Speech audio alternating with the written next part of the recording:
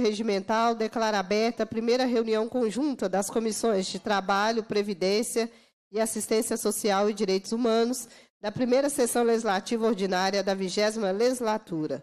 A presidência solicita às deputadas e de, às deputadas que façam registro biométrico no terminal.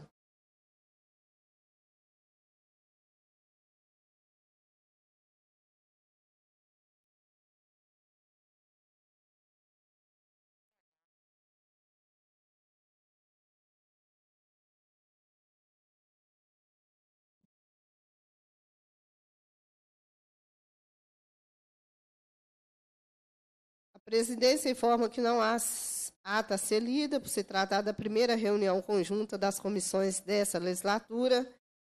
Essa reunião se destina a debater e particip a participação social e a estrutura do Conselho Estadual de Assistência Social, considerando se o Poder Executivo deve prover a infraestrutura necessária para o funcionamento, garantindo recursos materiais, humanos e financeiros, discutir e votar proposições da comissão. Suspendo os trabalhos. E todas. Tem muita gente de forma remota aqui também aguardando. Vamos chamar aqui, nesse momento, a presidência vai chamar, convidar as pessoas que vão fazer a composição da mesa. Tem uma lista aqui.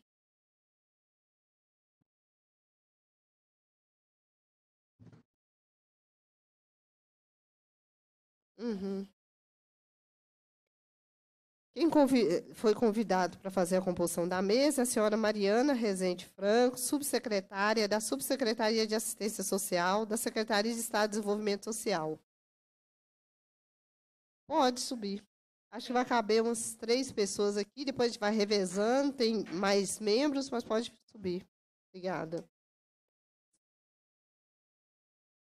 Entendi. Senhora Arlete Alves de Almeida, presidente do Conselho Estadual de Assistência. Bem-vinda, Arlete. Maravilha. Mulheres do Norte aí representadas aí.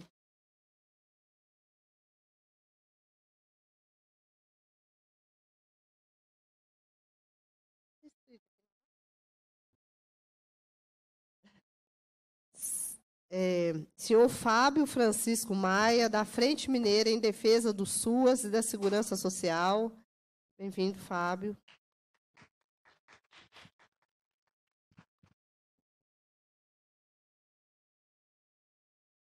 É, agora, não cabe aqui em cima, mas a mesa segue. Ainda tem a senhora Maria Aparecida Baia, representante. Baia. Maior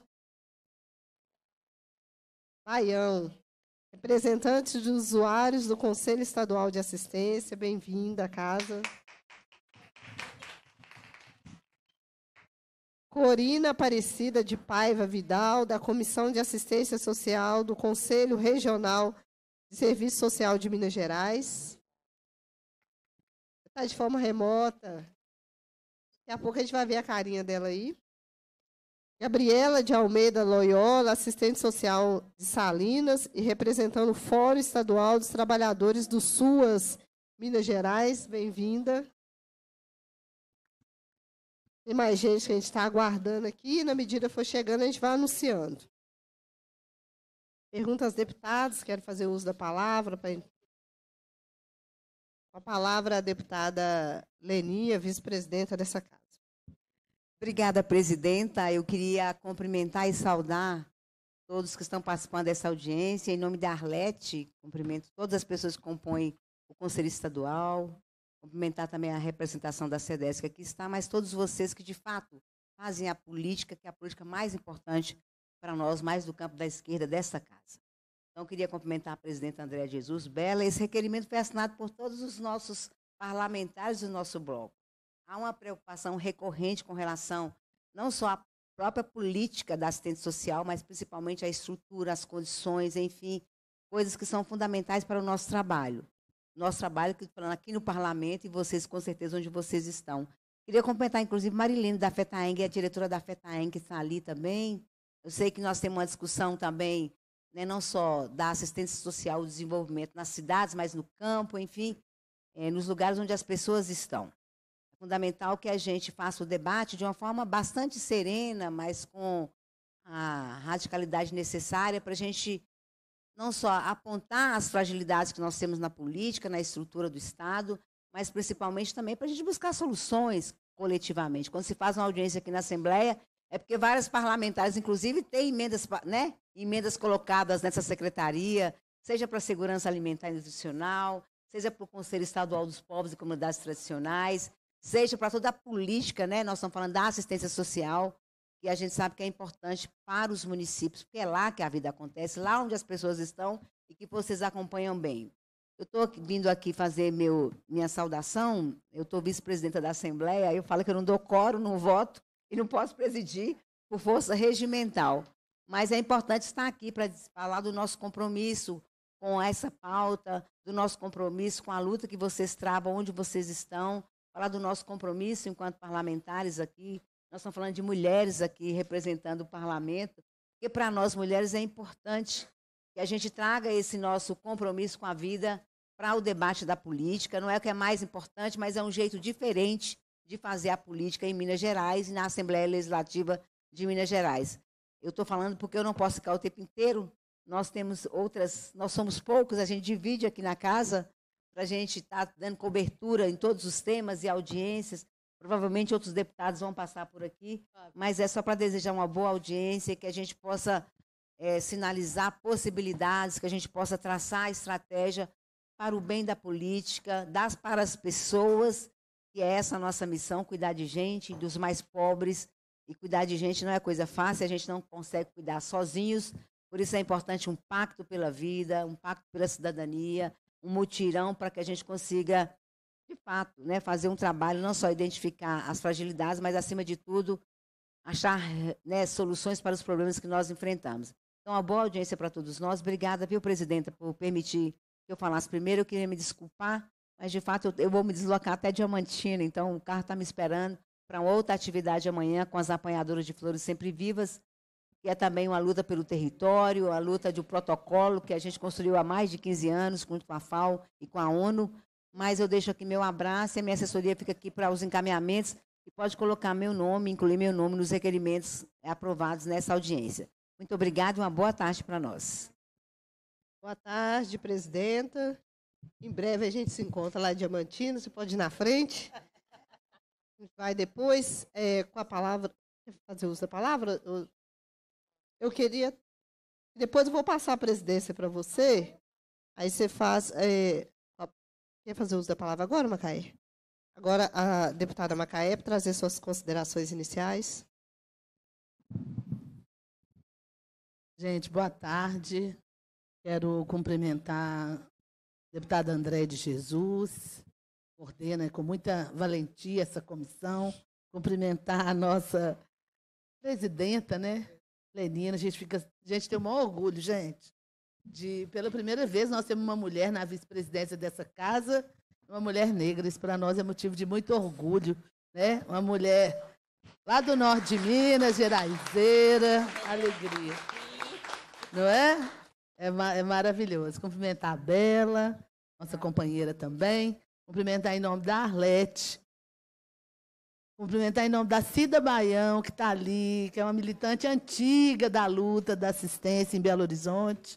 Estou vendo ali Nancy. E tem aqui uma amiga, de uma amiga lá de Pirapora, Valéria.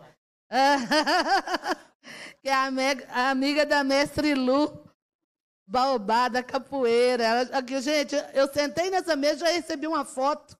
É incrível, né? Como é que a gente está conectado no Estado. Mas isso é maravilhoso. Mas o tema que nos traz aqui hoje ele é de fundamental importância, porque tem a ver com o direito das pessoas, né? o direito à assistência social, que foi muita luta para a gente construir né? essa política, construir o SUAS, e a gente sabe que não existe o SUAS se não tiver controle social e participação.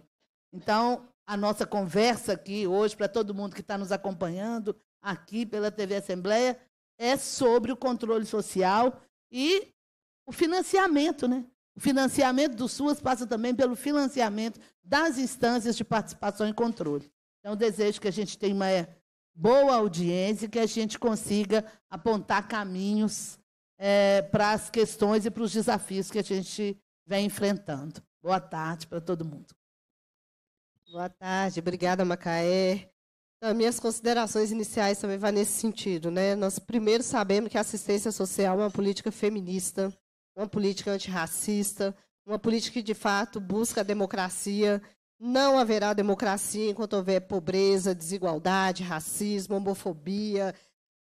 Nós estamos fortalecendo aqueles que cuidam dos nossos, e por isso é tão importante essa audiência, esse espaço, para a gente fortalecer os trabalhadores do SUAS Vou ceder meu espaço aqui para a senhora Maria Aparecida, para ocupar aqui a mesa, que eu acho muito importante trazer as nossas mais velhas, não mais velha de idade, mas eu estou falando daquelas que começaram a luta e que representam muito o Estado de Minas Gerais.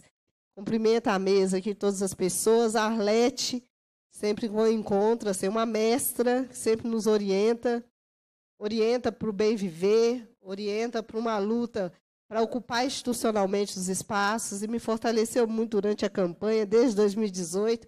É uma inspiração. E a gente está devendo o norte de Minas, nós estamos lutando muito para ter uma Casa da Mulher lá, a LED está à frente disso. Nós precisamos, de fato, que a política de assistência e de cuidado seja prioridade nesse Estado. E por isso é fundamental o que a gente está debatendo aqui na casa. Recentemente, o governador apresentou um projeto para aumentar impostos sobre coisas muito importantes na vida da gente. Uma delas é cosméticos, que hoje é muitas das nossas mulheres trabalham diretamente. Eu estou falando da manicure, daquela que está ali sustentando famílias, e o governador quer aumentar o imposto sobre coisas importantes, e principalmente para as mulheres, com o argumento de que é para alimentar o fundo de erradicação da miséria. Então, nós já aprovamos aqui na casa um requerimento, nós, do bloco, Bela Gonçalves está aí à frente, para a gente discutir o FEM. Porque a gente já apresentou um projeto aqui na casa, tinha como objetivo garantir que houvesse, de fato, é, previsão orçamentária para garantir o piso dos trabalhadores do SUAS. Não precisa ter o piso, precisa ter fonte orçamentária, como tem para a educação, como tem para a saúde. Nós precisamos garantir isso na assistência. Infelizmente, a gente não avança e o governador, numa falácia, mais uma vez, um descompromisso com o combate à miséria e à pobreza no estado de Minas Gerais, apresenta um projeto para aumentar impostos de coisas que impactam na vida de pessoas muito simples como nós. Estou falando de aumento de imposto para quem tem lancha, para quem está acumulando patrimônio nesse estado, e a gente sabe muita gente está acumulando e não paga como as mineradoras. Arrancam toda a nossa riqueza, deixam só a miséria para a gente e eles não pagam imposto. Nós precisamos debater, de fato, imposto sobre os mais ricos e garantir o um mínimo constitucional para garantir o piso dos trabalhadores de assistência. Essa é a nossa luta, nosso compromisso, e eu saio daqui mantendo esse compromisso. Precisamos mudar constitucionalmente é, a Constituição do Estado, né, deputada Leninha e as companheiras aqui, para garantir que o piso da assistência seja garantido e que o fundo da erradicação da miséria e da pobreza seja, de fato, uma pauta prioritária num governo hoje que está entregando a nossa riqueza, o nosso imposto. É para a locadora, né? recentemente, 4 bilhões que deixa de arrecadar com a anistia e o perdão de dívida de locadora que aluga para o próprio Estado.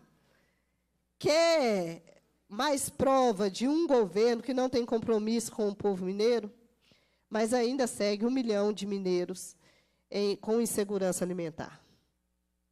Pode ter muita gente hoje que não fez a primeira alimentação ainda. E a responsabilidade é direta desse governo. Né? Então, vamos seguir com a audiência. Obrigado pelo espaço. E, nesse momento, eu passo a presidência para a deputada Bela Gonçalves. Já convido a dona Maria para subir e compor a mesa com a gente.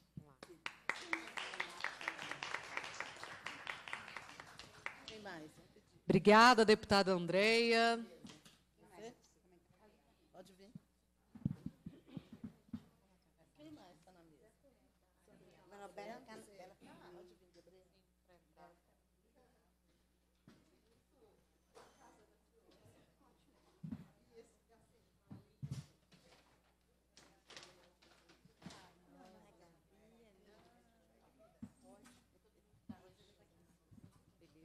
Ah, é? Tá. Pessoal, boa tarde. Boa tarde. Boa tarde. Importantíssima audiência pública, mas antes de começar ela, eu queria dizer que eu morro de vergonha de fazer audiência nesse plenário. Infelizmente, era o único que estava disponível. Mas essas vidraças, esse aquário, ele é, é o ó. Então, eu queria convidar quem está do lado de fora do aquário para poder entrar aqui dentro até o limite né, da capacidade, porque agora, com a Baião aqui em cima com a gente, a gente já está com todos os integrantes dessa mesa. Saudar aqui a presença da Baião e vamos dar início ao nosso debate, que é importantíssimo, né, gente? Que trata da defesa do SUAS, Sistema Único de Assistência Social, que é fundamental para enfrentar as desigualdades e as violências que a população pobre, a população negra, as mulheres, as crianças e adolescentes, a população idosa, a população com deficiência e situação de vulnerabilidade, ou seja, todas as violências da nossa sociedade desembocam no SUAS. E por isso, garantir um SUAS robusto é garantir direito social, é garantir a nossa Constituição. Queria também cumprimentar todos os conselheiros e conselheiras que nos provocaram a fazer essa audiência pública, no nome aqui da Arlete, nossa presidenta do conselho, também Baião, que foi uma grande companheira na luta pela renda emergencial em Belo Horizonte. Sem a Baião, gente, a pandemia teria sido mais difícil. Ela foi fundamental para garantir que o enfrentamento à fome fosse prioridade da Prefeitura de Belo Horizonte, enquanto conselheira também, movimentando, né, junto com trabalhadores, usuários do sistema único e entidades, né, a mobilização em torno da, do SUAS. Bom, gente, assim, a situação que nós vamos tratar hoje nessa audiência pública, ela é extremamente preocupante, porque, como bem disse a minha colega, companheira e deputada Macaé Evaristo, não existe o SUAS, assim como não existe o SUS, sem controle social, sem participação social. E o que a gente tem percebido, né, é que essa participação tem enfrentado diversas limitações por parte do governo do Estado, e aí eu quero escutar vocês nesse sentido, com situações que vão desde a ausência de prestação de informações importantíssimas sobre o emprego de recursos públicos que deveriam chegar na ponta, na população pobre, vulnerável, que está hoje sujeita à fome, até situações, às vezes, de constrangimento a conselheiras e conselheiros. E aqui presto toda a minha solidariedade também a Baião, que vai falar recentemente. Isso sem contar, né, gente, a ausência de convocação da Conferência Estadual de Assistência Social, que é uma demanda do Conselho, a ausência de informações em relação é, é, à prestação do serviço, a ausência de estrutura para que o Conselho faça levantamentos, estudos técnicos, enfim, para que tenha condição de trabalhar, para que tenha condição de operar. O trabalho do Conselho é um trabalho voluntário, um trabalho majoritariamente de mulheres, mulheres negras, mulheres usuárias é, do sistema de assistência social, e a, o desmantelamento do Conselho por parte é, de quem deveria garantir estrutura para que ele seja robusto, que é o Estado, é algo que nos preocupa muito. Né? E aí, assim, eu trouxe aqui um relatório né, de gestão anual, por exemplo, do Sistema Único de Assistência Social de Minas Gerais, do SUAS, que revela que nós estamos tendo um aumento de famílias cadastradas no Cade Único. Há um aumento da procura de famílias pelo Cade Único, há um aumento do número de famílias que são consideradas pobres, extremamente pobres, vulneráveis no nosso Estado. No entanto, na hora que a gente olha a média de famílias acompanhadas pelo PAIF, ou seja, a média de atendimentos concretos nos CRAS, né, a gente vê que há uma queda brusca. Isso nos preocupa. Esses gráficos aqui nos preocupam muito. Eu acho que são o pano de fundo também das preocupações das conselheiras e o pano de fundo que tem mobilizado a cobrança da sociedade civil dentro do Conselho de Assistência Social. Essa audiência ela acontece, gente, num momento muito oportuno, como disse a deputada Andréa de Jesus, que é o momento em que se debate o FEM, Fundo de Erradicação da Miséria, que é um fundo garantido com muita luta no passado para erradicar a fome, a miséria, situações também é, de vulnerabilidade das famílias. O FEM está em votação no plenário. E o governador quer aumentar os impostos de uma série de itens, justificando que esse aumento de impostos é necessário para que o FEM execute a sua função. O que o governador não fala é o que está sendo feito com o FEM. Então, eu já deixo o convite para vocês participarem no próximo dia 25 da audiência pública que vamos fazer sobre o FEM, às duas da tarde, porque nós queremos saber o que foi feito com o recurso do FEM. Porque ele tem arrecadado mais do que tem gasto, tem pelo menos 162 milhões de reais que foram arrecadados e não foram empregados do, pelo FEM, e, além disso, a gente percebe que a utilização do FEM ela está indo para coisas que. Hum, despesas gerais, como transporte escolar, pagamento de funcionários, coisas que não deveriam ir para o FEM. O FEM deveria estar tá observando a sua finalidade, que é erradicar a miséria da população. Então, essa outra audiência é muito importante. Nós estamos construindo, né?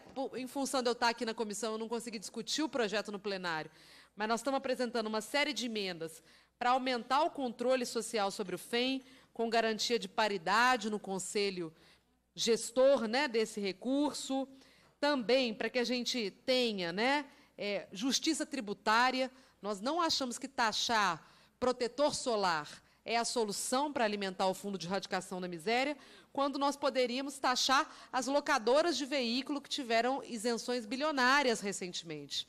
Como nós poderíamos revogar a lei Salim Matar, que foi a lei que deu para o amigo do governador um bilhão em isenção fiscal, votado há dois meses atrás, aqui no plenário da Câmara Municipal. Quando nós poderíamos taxar veículos de luxo, como iates, como lanchas, veículos caros, BMWs, esses sim deveriam ser taxados como a gente deveria taxar a mineração, que já que a gente não consegue taxá-la por causa da lei Candir, né, que isenta a mineradora de pagar imposto, que pelo menos a água e a energia que elas usam não seja taxada. Isso seria suficiente para botar um fundo gordo para erradicar a miséria no nosso Estado, para botar um fundo gordo para as ações socioassistenciais do nosso Estado, o que é uma prioridade da nossa ação aqui. Então, esse momento em que a audiência pública acontece, ele é importante. Convido vocês para continuarem é, vindo aqui na Assembleia na semana que vem, porque as definições em relação ao Fundo de Erradicação da Miséria dependem também da mobilização, da participação social de vocês, tá bom?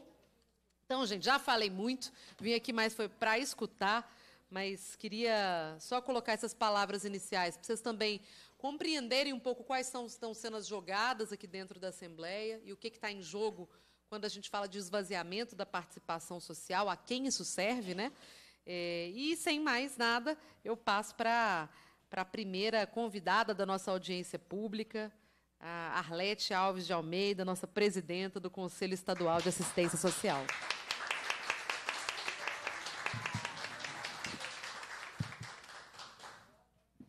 Então, boa tarde. E eu cumprimento toda a mesa e também trago né, para essa fala a presença de cada conselheiro, cada conselheira e todas as pessoas convidadas que aqui estão, toda aqui. aqui. E dizer que estar aqui para falar da, do SUAS é falar de uma política tão importante quanto as demais, como, por exemplo, educação, saúde. Porque se a assistência social não funciona, evidentemente, as crianças, as famílias que dependem do SUS e da educação também vão ficar fragilizadas. Porque esse arcabouço da política pública, e que a gente às vezes costuma chamar de rede, e que em sua maioria essa rede é furada, ela costuma não funcionar exatamente por conta de tudo que você já colocou aqui, Bela.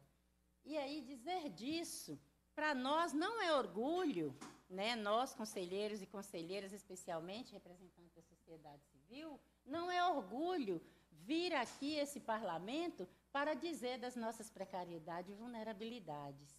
Porque o que, é que a gente entende que é um conselho? O conselho é aquele lugar onde a sociedade civil e o governo vão dialogar em, em, em situação é, de equidade.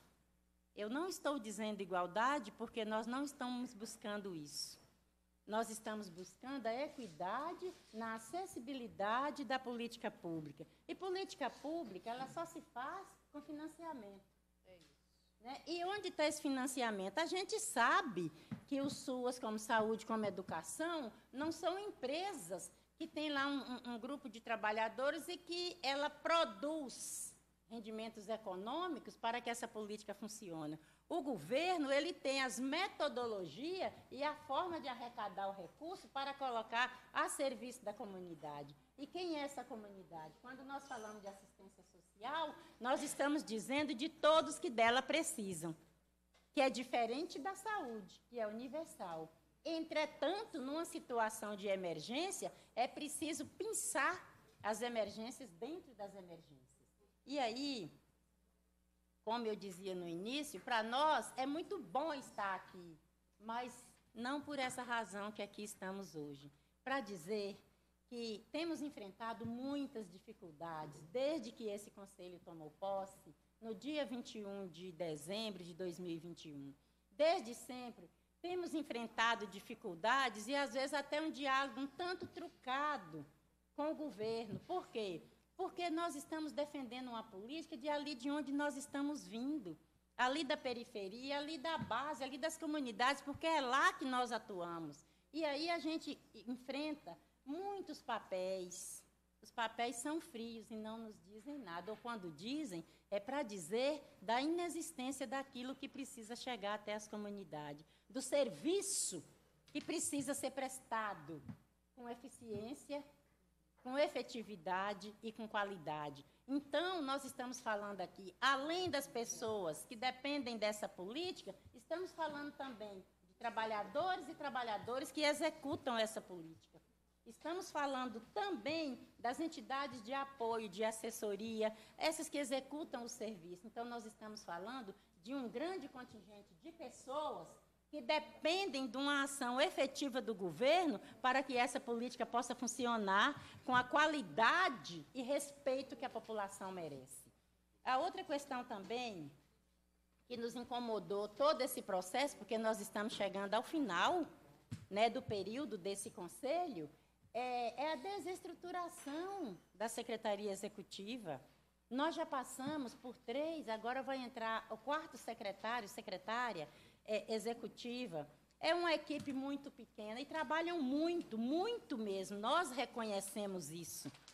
E nós, a sociedade civil, temos o tempo todo insistido que uma equipe deste tamanho, da forma como ela está, ela não dá conta, porque senão nós vamos estar sendo conivente com a precariedade é, é, é, é da mão de obra, mas também do trabalho. Trabalhador e trabalhadora nessa situação insustentável para dar conta de tanto serviço.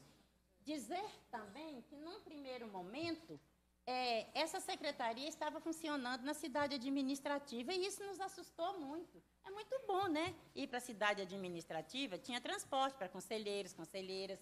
Nós não estamos dizendo de como fomos e somos tratadas e tratados quando ali a gente precisa reunir nos chamou a atenção foi a questão da falta de acessibilidade de pessoas que às vezes vêm até Belo Horizonte, pessoas dos conselhos, das próprias secretarias, e que quando a casa, a Secretaria Executiva funcionava ali no prédio dos Direitos Humanos, na Praça 7, a pessoa ia ali, é, recebia orientação, primeiro ligava, era organizada uma equipe, tanto da Secretaria Executiva como de conselheiros e conselheiras para receber essas pessoas. Ao mudar para a cidade administrativa, a gente já é, é, encontrou aí um impasse, porque uma coisa é colocar transporte para conselheiros e conselheiras, outra coisa é quando essas pessoas chegam, como que elas fazem? Então, se a política existe, ela precisa de oferecer acessibilidade.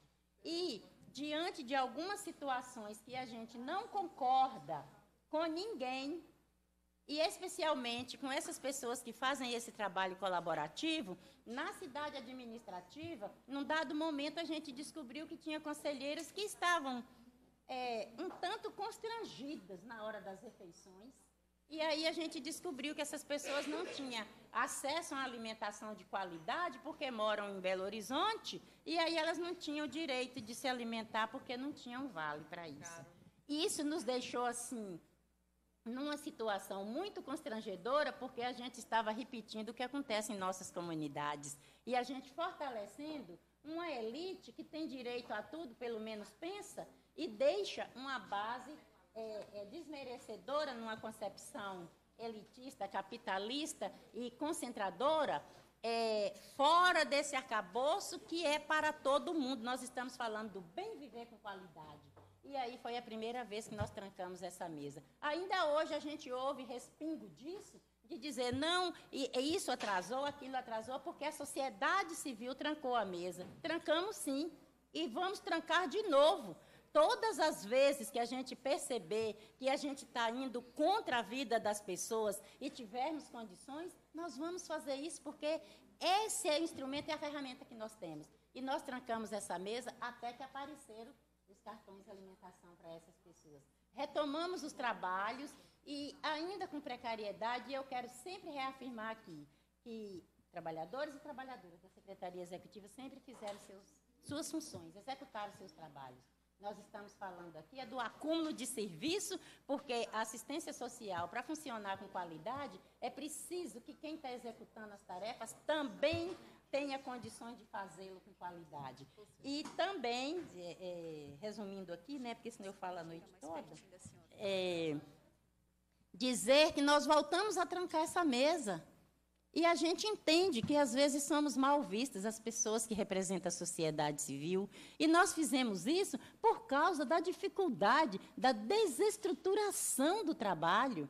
E a gente, às vezes, é, é, é fica conversando, fica pensando, porque fala assim: peraí, a gente não está contra o governo, não, nós estamos a favor da vida. Quem é contra as medidas que nós tomamos para fazer com que essa política funcione com, com, responsabilidade, com equidade, que chegue até quem dela precisa, é que está contra a vida. E nós não. Nós fizemos isso e retornamos há pouco tempo e estamos aí na luta para a realização da conferência. E nós temos trabalhado muito. Se nós, que temos outros afazeres, somos colaboradores e colaboradoras, temos trabalhado muito nas nossas comunidades, imagine uma equipe, me parece que de quatro, cinco pessoas, se não me engano, né, tem que dar conta de todo esse serviço. E é por isso que nós estamos aqui. E eu quero, é, porque eu sei que outras pessoas também estarão falando, dizer que nós não trabalhamos com janela orçamentária. Janela orçamentária é uma ilusão fictícia para dizer que está se pensando naquela política. E nós precisamos encontrar os caminhos para que isso seja resolvido. Quando Leninha fala das emendas parlamentares, se é por meio disso, então que elas cheguem até o local certo para que essa política seja efetivada. E, por fim, quero dizer também que, ao buscar soluções para é, é, que a gente possa avançar é que o governo não nos veja como inimigos e inimigas. Nós somos colaboradores, colaboradoras responsáveis e que acreditamos que é por meio da democracia que a gente constrói vida para todas as pessoas. E o controle social, essa responsabilidade social, ela é de responsabilidade de toda a sociedade, principalmente de quem tem comida, casa todo dia. Porque quem não tem pode correr o risco de achar que viver na miséria é normal. E não é. Não é. Todo mundo precisa desse cuidado e os serviços precisam ser executados com qualidade. Eu dizia outro dia que eu, como moro no interior, eu, eu vivo muito essa, essa transição entre rural e urbano. Sabe, me incomoda. E deve incomodar todo mundo. Quando chega, porque a assistência social tem cara de mulher, não é? Pois é. A maioria das pessoas que procura esse serviço são as mulheres. Aí as mulheres chegam com aquele tanto de papel, tudo dobradinho, dentro de uma sacolinha. Aí aquilo assim, com o máximo cuidado, com o máximo de amor, tudo guardadinho. Aí ela começa a tirar. E ela chega à frente daquela trabalhadora ou trabalhador que está lá. Aí ele diz assim: Mas a senhora tinha que trazer o xerox. Aí ela fala, mas eu não tenho, então não dá para atender a senhora, volta outro dia. Não tem que ter esses equipamentos nesses espaços? pega um documento da mulher, tira a cópia e resolve o problema e não manda voltar depois. Então, isso parece pequeno, né? Mas isso é de uma grandiosidade para quem dela precisa. Muito obrigada.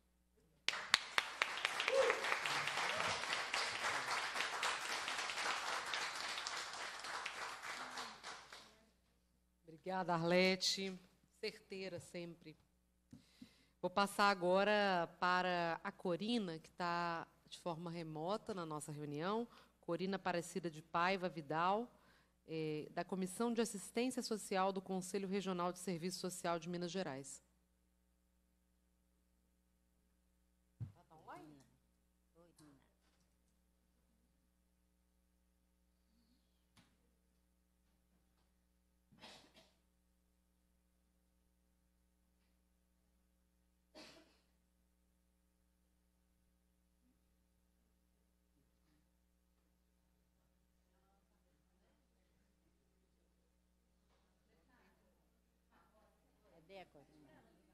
Boa tarde. Boa tarde a todos e todas. Eu sou Corina Vidal. É, estou representando o CRES, Conselho Regional de Serviço Social. Eu quero agradecer o convite, parabenizar é, a iniciativa desse debate em nome do CRES. É, precisamos mesmo fortalecer as instâncias de controle social e isso se faz no coletivo que esse coletivo aqui, nessa audiência pública, possa traçar estratégias de fortalecimento do SUAS e o fortalecimento do controle social. A luta do CRES é por direitos amplos, universais e equânimes, na perspectiva da superação das desigualdades sociais. Nossa luta é pelo fortalecimento da política de assistência social como política de segurança social. Um bom debate para vocês. Boa tarde. Mais uma vez, muito obrigada. Obrigada, Corina. Então, agora eu vou passar a palavra para Mariana de Rezende Franco, que é subsecretária de Assistência Social da Secretaria de Estado de Desenvolvimento Social. E aí, Mariana, eu queria que você comentasse algumas das questões que foram aqui colocadas, em especial né, é, as denúncias que foram apresentadas em nota pela sociedade civil, é, onde a gente fala né, de interferência no funcionamento da Secretaria Executiva, com alta rotatividade do secretário executivo e outros funcionários, da ausência de infraestrutura própria para o funcionamento da Secretaria Executiva e para a realização das reuniões, dos órgãos de apoio ao Conselho não terem dado seguimento aos encaminhamentos das plenárias, fragilizando o trabalho colegiado, reduzindo assim né, o papel de controle social e do orçamento destinado à política de assistência social, Parece que não se enviam os relatórios solicitados ou enviam com dados precários. O subfinanciamento do controle social do SUAS, que dificulta o exercício das diversas competências do colegiado relacionadas à função do SES. A criação de atos normativos que subordinam o SES à gestão estadual. A não alocação de duas ações orçamentárias do Fundo Estadual de Assistência Social, impossibilitando a fiscalização do colegiado. E aí eu cito as duas ações, a ação 2081, que diz respeito ao assessoramento à política estadual de assistência social, e ao 4226, apoio financeiro e material aos serviços socioassistenciais, que contraria algumas normativas na área. Né?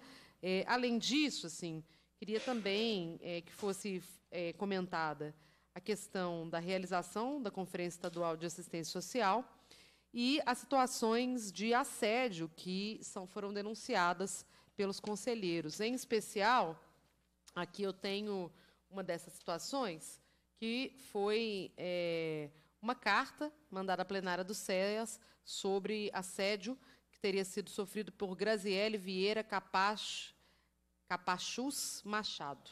Então, coloquei aqui em síntese, né? o que foi repassado para nós, deputados, em relação a, ao Conselho. Você fique à vontade né, para explicar esses pontos e depois a gente retoma com os demais convidados também. Depois você vai ter mais espaço de fala ao final. Obrigada.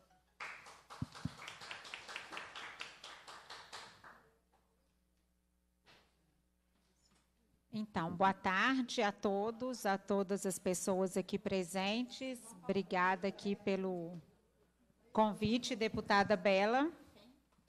É primeira vez, eu acho que desde que eu estou como subsecretária de assistência social, que a subsecretaria é chamada na Assembleia. Então, a gente recebe o convite com alegria, porque é, é a primeira vez.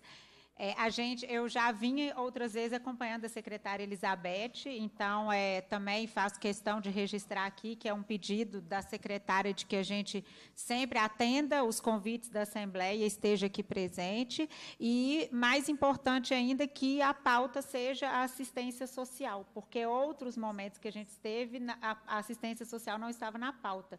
Então, eu vejo também como um momento da gente é, fortalecer a política pública, de dar visibilidade aqui na Assembleia Legislativa e de ter mais parlamentares também apoiando a assistência social como política pública pela sua importância e pelas dificuldades que ela enfrenta, como já foi muito bem falado aqui, inclusive pela dona Arlete.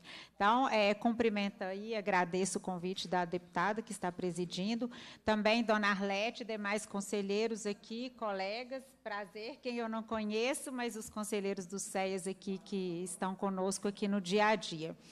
É, dizer, inclusive, que agradeço também as palavras da dona Arlete, como bem diz a, a dona Maria Baião. Se tem uma coisa que a gente é muito, é trabalhador do SUAS, né? Incansáveis, incansáveis trabalhadores do SUAS. E aí, é só para também rapidamente me apresentar, eu trabalho na assistência social desde 2005. Eu já fui gestora municipal de um município pequeno por é, oito anos. Estou na SEDESE como servidora da SEDESE desde 2015 e como subsecretária de assistência social desde 2020. Então, é, eu tenho é, na minha trajetória profissional muitos anos aí de trabalho, inclusive acompanhando o início da implantação do Sistema Único de Assistência Social. É, eu busquei fazer uma apresentação breve, mas apontando algumas questões que no convite né, que veio para mim ontem, falava de participação social e estrutura do SEIAS. É, a gente já sabia o, o SEIAS, né, a gente já fez esse debate dessas dificuldades de estrutura de funcionamento do SEIAS e da Secretaria Executiva nas reuniões do Conselho. Então, eu busquei trazer informações breves e aí, é, do, das questões que a senhora pediu ainda, eu que não tiver na apresentação, eu posso complementar, tá bom? É, então, assim, sobre o funcionamento da Secretaria Executiva. A Secretaria Executiva, hoje, ela já está funcionando na Casa de Direitos Humanos, por, por foi um pedido do Conselho Estadual. É, ela estava funcionando antes é, na cidade administrativa apenas a secretaria executiva, as plenárias e reuniões do conselho sempre acontecendo na Casa de Direitos Humanos que funciona na Praça 7. Então, a estrutura da secretaria executiva, o fato dela funcionar na cidade administrativa, essa mudança aconteceu na pandemia é, a estrutura de trabalho da cidade administrativa ela é melhor, ela atende melhor aos servidores. Depois da pandemia, é, a gente tem um regime de teletrabalho que, aos poucos, é, ele foi reduzido. Então, hoje a gente tem é, a, a maior parte da equipe já presencial todos os dias, mas ainda temos, até no governo de Minas, um regime de teletrabalho de alguns dias o servidor poder trabalhar de forma remota. É, então, sobre o funcionamento da Secretaria Executiva, a sede já está funcionando na Casa de Direitos Humanos e foi um pedido atendido é, pelo, pela SEDES e do próprio SEIAS. Quanto à equipe, a gente tem um secretário executivo e uma equipe de apoio técnico. A gente teve a vacância do cargo de secretário executivo, então temos, é, sim, né, tivemos dois processos seletivos já realizados para escolha de secretário executivo. Muitas pessoas participaram desse processo e não é, assumiram, ou assumiram e depois pediram para sair. A gente está com a vacância do cargo de junho até agosto, então a gente teve uma troca em maio, uma pessoa sumiu outra pessoa saiu, e atualmente fizemos um processo seletivo que a mesa diretora do SEIAS, que fez a escolha do, do, secretário executivo por meio de currículos e entrevistas, junto com uma equipe de RH da SEDESE, e a gente já tem é, um profissional selecionado em fase de, de nomeação. É, ainda sobre a equipe da Secretaria Executiva, nós temos hoje quatro técnicos de nível superior, sendo três nomeados e um em processo de nomeação, porque houve uma troca, dois servidores de apoio administrativo e temos um processo de captação e remanejamento de servidores em andamento. É, isso significa a maioria dos servidores efetivos. E aí, é, qual que é, eu acho que a dificuldade do, do, da SEDESE como um todo, principalmente da Subsecretaria de Assistência Social? A gente não dispõe de aprovados em concurso público em lista para serem é, nomeados. E a gente não tem cargos vagos. Então, a gente depende de fazer remanejamento de servidores. Isso, é, em média, as nossas diretorias, elas têm uma média de cinco servidores um diretor e quatro técnicos. Então, as nossas equipes na SEDES, elas são equipes pequenas de todas as áreas. E esse fato também ele é devido ao cenário de restrição de despesas de pessoal que o Estado tem pela lei de responsabilidade fiscal, que impede o aumento de despesas de pessoal na SEDES. Então, esse é um ponto que a Subsecretaria de Assistência Social passa, a Secretaria Executiva do SES passa e outros setores é, da SEDES. Então, essa é, ele é um cenário que ele estou é, querendo colocar assim, que ele é de toda a subsecretaria e, e também da, da SEDES.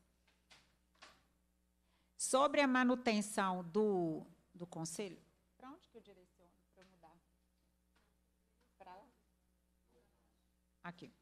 Sobre a manutenção do Conselho e das atividades do SEAS, Além das despesas com pessoal, são garantidos a estrutura física para o trabalho da equipe, os espaços para a realização das reuniões presenciais, contratos de manutenção, entre outros. A SEDESE também custeia passagens rodoviárias, aéreas, diárias para os conselheiros participarem de todas as atividades relativas ao controle social. E aí a gente está exemplificando, né? A gente tem Fórum Nacional do SEAS, que o SEAS participa, reuniões descentralizadas do CNAS, capacitações e eventos presenciais e demais agendas de capacitação, conferências municipais e outras reuniões realizadas pelos conselheiros.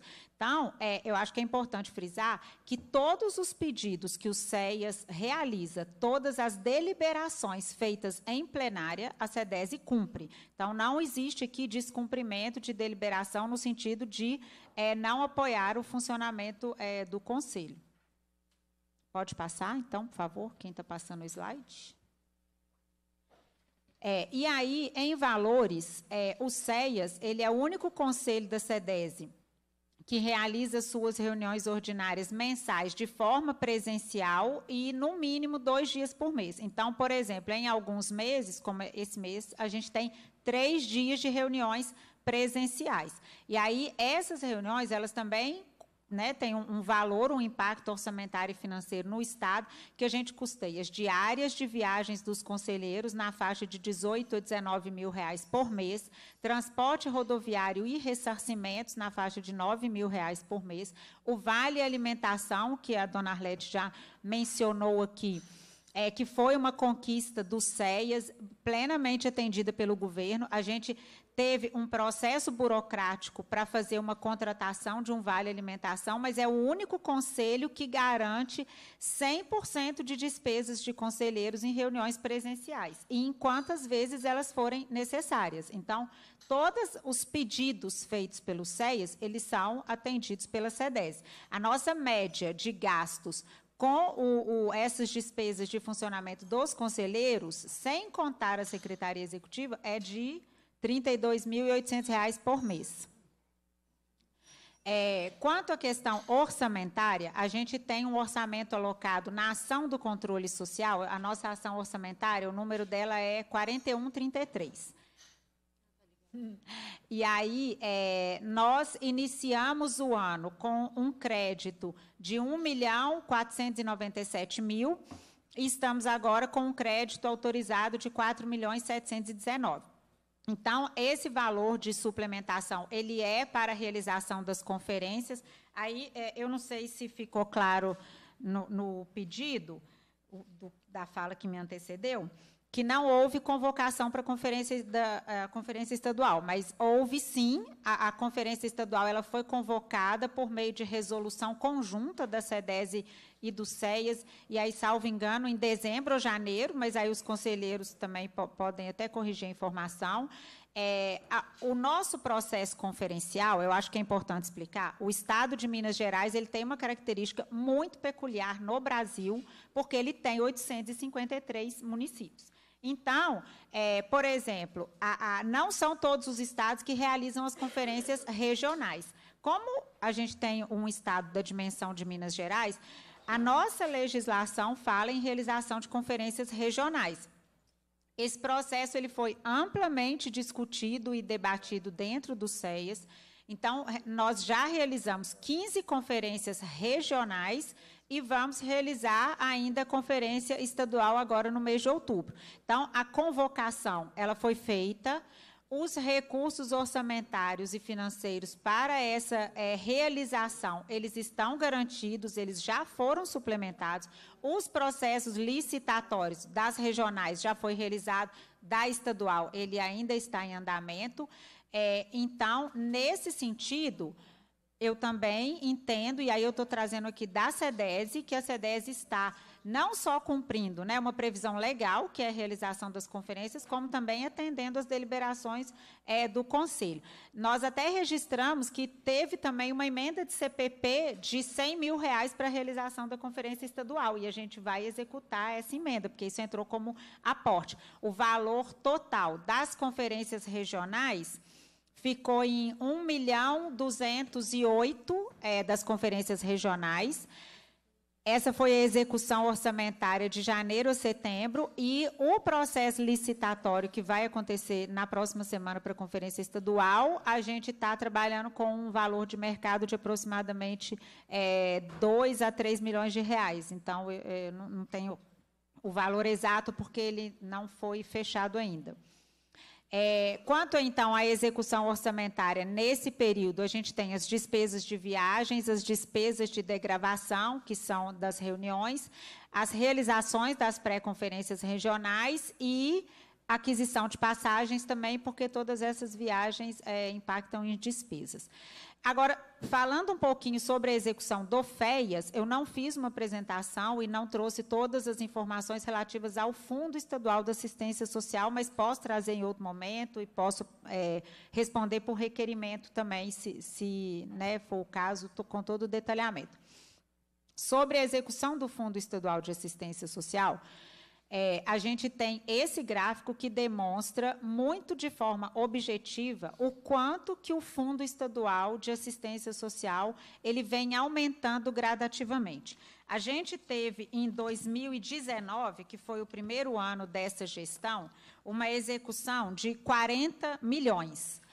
E a gente, é, lembrando que em 2019 a gente assumiu a gestão com dois anos de atraso de piso mineiro. Então, os municípios estavam há dois anos sem receber, todos os serviços estavam é, cortados, o financiamento do Estado estava cortado.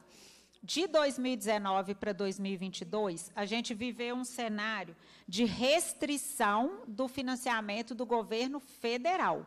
Então, a situação que a gente tem no final de 2022 é que o recurso que o Estado coloca na assistência social estava maior do que o do governo federal porque o governo federal ele passou a desfinanciar a assistência em 2019 é, com uma portaria que cortou os recursos. Então, a assistência social ela vem sendo financiada nos últimos quatro anos da gestão passada, que eu estou me referindo, com recursos do município, especialmente, e é, recursos do Estado.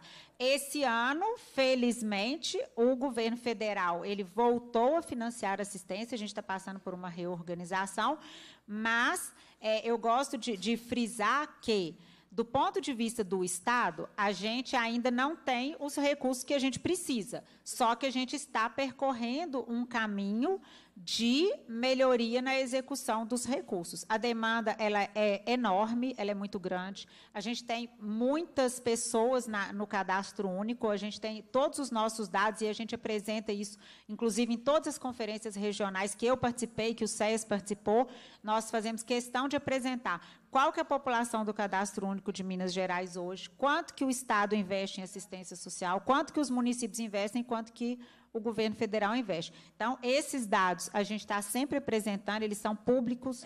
É, eu não, eu também não fiquei na dúvida de qual informação que o CEAS é, pede que a gente não apresenta, porque todas as nossas prestações de contas elas são trimestrais, elas são enviadas, relatório de gestão a gente encaminhou no prazo. Então, assim, todos os prazos normativos e envio de, de informações a gente cumpre. Aí, é, eu, se for o caso, depois a gente pode voltar nesse assunto para detalhar. E aí, voltando um pouco na realização das conferências regionais, nas pré-conferências, a gente teve pré-conferências de excelente qualidade, com participação de todos os conselheiros, com uma participação. Com, conseguimos realizar um, um bom contrato de, uma empresa é, que organizou esses eventos, com material gráfico de qualidade, espaços, equipe de cerimonial, lanche, almoço. Então, nesse ponto, a gente tem, inclusive, avaliação é, das conferências e elas receberam da, dos participantes. A gente teve avaliação super positiva de quem participou dos participantes das conferências, é, de toda a, a, a, realização. E a gente teve. Estou tentando voltar aqui o slide. Essas foram as conferências regionais. O número de participantes. É, ele ficou aquém do, do esperado, o SEAS esperava ter maior participação, a gente gostaria que tivesse tido maior participação, mas no total a gente conseguiu ter 2.800 pessoas participando das conferências regionais e foram agora no mês de agosto, a gente teve de final de julho a princípio de setembro essas 15 conferências regionais. Então, assim, o ano das conferências, ele é também um ano atípico para o governo, para a SEDESE e para o CEIAS. Então, a gente tem se dedicado muito, e aí é, não estou falando que não é da equipe da CEDES, é da equipe da CEDES e do CEIAS, porque os conselheiros eles foram nossos parceiros o tempo todo na realização dessas conferências. E a gente conseguiu cumprir com é, muita qualidade é, essas conferências regionais. Então, tem algumas fotos, os conselheiros aqui, todos eles já conhecem, porque eles participaram, só para ilustrar. E, por fim, para terminar, sobre a conferência estadual, a gente está no momento de preparação dessa conferência. O pregão para contratação, ele vai, realizar, vai ser realizado agora no dia 25 de setembro, e aí, a partir da realização do pregão, a gente vai ter uma definição melhor, mas até então é, não, não temos ainda nenhum entrave na realização da, da conferência estadual. É, na conferência estadual está previstos 1.100 pessoas, são três dias de evento e as despesas todas dos participantes elas são custeadas pelo Estado e os municípios eles custeiam é, a, a, o transporte das pessoas do interior para Belo Horizonte, onde vai ser realizada é, a conferência. É, agora, quanto às outras questões que eu acho que não estão na apresentação, mas que a deputada trouxe, quanto à questão de subordinação do, do CEAS à, à a gente teve um decreto em 2021 regulamentando o conselho e esse decreto ele trouxe equivocadamente a palavra subordinação. E isso foi corrigido. Esse decreto ele já foi alterado. É, o que aconteceu, e que isso foi motivo de muito debate dentro do SEIAS, é que a lei que aprovou a estrutura administrativa, ela trouxe, e aí eu, eu, a gente já, já até esclareceu isso, ela trouxe até por repetição, porque todas as leis das estruturas administrativas anteriores, elas falavam de subordinação do conselho à secretaria. Só que essa subordinação ela é meramente administrativa do ponto de vista de recursos e pessoal. É, o nosso decreto que regulamenta os CEAs, ele não fala em subordinação, ele fala em vinculação e autonomia. A nossa legislação estadual, e federal, ela fala em vinculação. Então, é, nós entendemos, sim, que o CEAS ele é um órgão vinculado ao governo, porque essa estrutura administrativa ela é financiada pelo governo, e ele é o órgão de controle social da política pública. Então, existe de fato e de direito essa vinculação, mas não se fala é, em subordinação. É, quanto a, é, a senhora trouxe também duas, tem duas ações orçamentárias que a gente tem no nosso PPAG e que tem um pleito do, do CEAS desde o ano passado, e a gente apresentou isso na revisão do PPAG, e agora no novo PPAG, a nossa proposta é para correção de que essas ações elas sejam incluídas no fundo estadual. Então, assim, do ponto de vista nosso técnico, a gente acatou o que o CEAS trouxe, fez essa proposição, corrigimos a nossa proposta, e aí eu acredito que quando esse PPAG, o novo, que vem agora, acho que no final desse mês para a Assembleia, a gente já vai ter essas correções.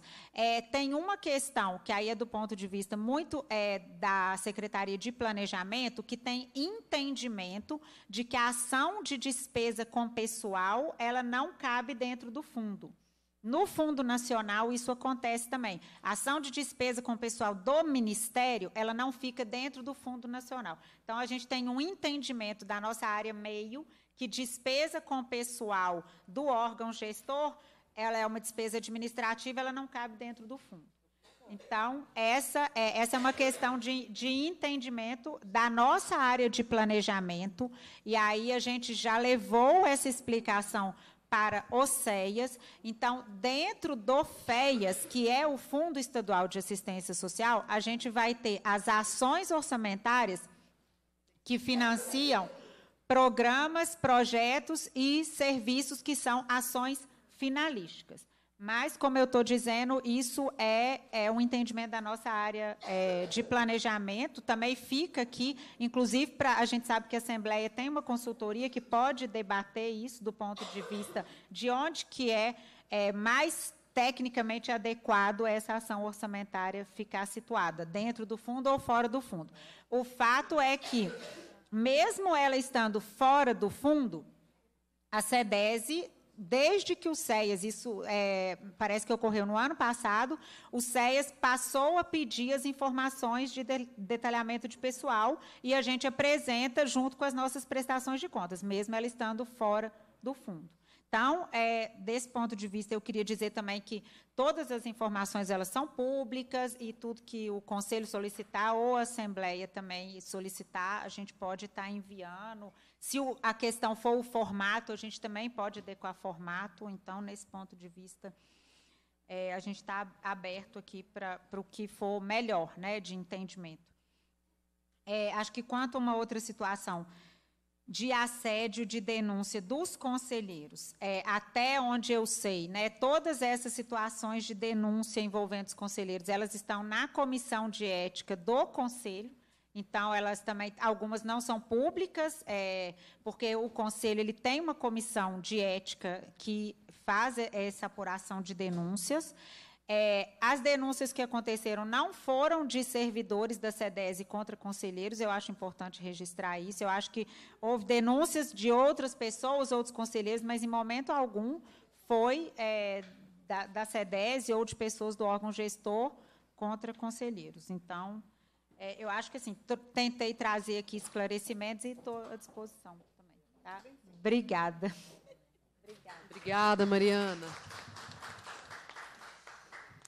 Mariana, então, se é a primeira vez que a gente debate isso, seja muito bem-vinda, porque, pelo menos eu, quero fazer muito, muito esse debate sobre assistência social. Quando era vereadora, fiz inúmeras audiências sobre assistência e sei da importância da gente trazer essa representatividade do setor aqui para dentro da Assembleia Legislativa.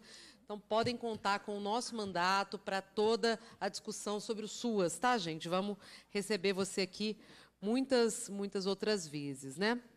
É, e bem, assim, sobre as questões que você comentou, é, eu não, não, poderia deixar de, de dizer assim que não por culpa dos trabalhadores, dos servidores da SEDESE, mas por uma opção de governo, né, gente? Não é só o governo federal que tem desfinanciado a assistência social no Brasil. O governo estadual também desfinancia esse sistema. Há muito tempo o valor de 2,40 não se reajusta e a gente tem vergonhosa taxa de 0,13% do orçamento investido em uma das ações mais importantes, que é o enfrentamento às situações de pobreza, extrema pobreza, miséria, enfim, ataque às situações de vulnerabilidade do nosso Estado. Né? 71 milhões é troco, é troco para o Estado de Minas Gerais.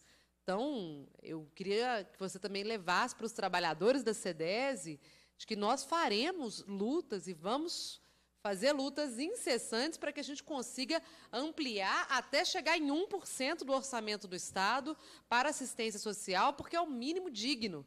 Esse é um debate federal, é um debate também estadual, é um debate em vários municípios.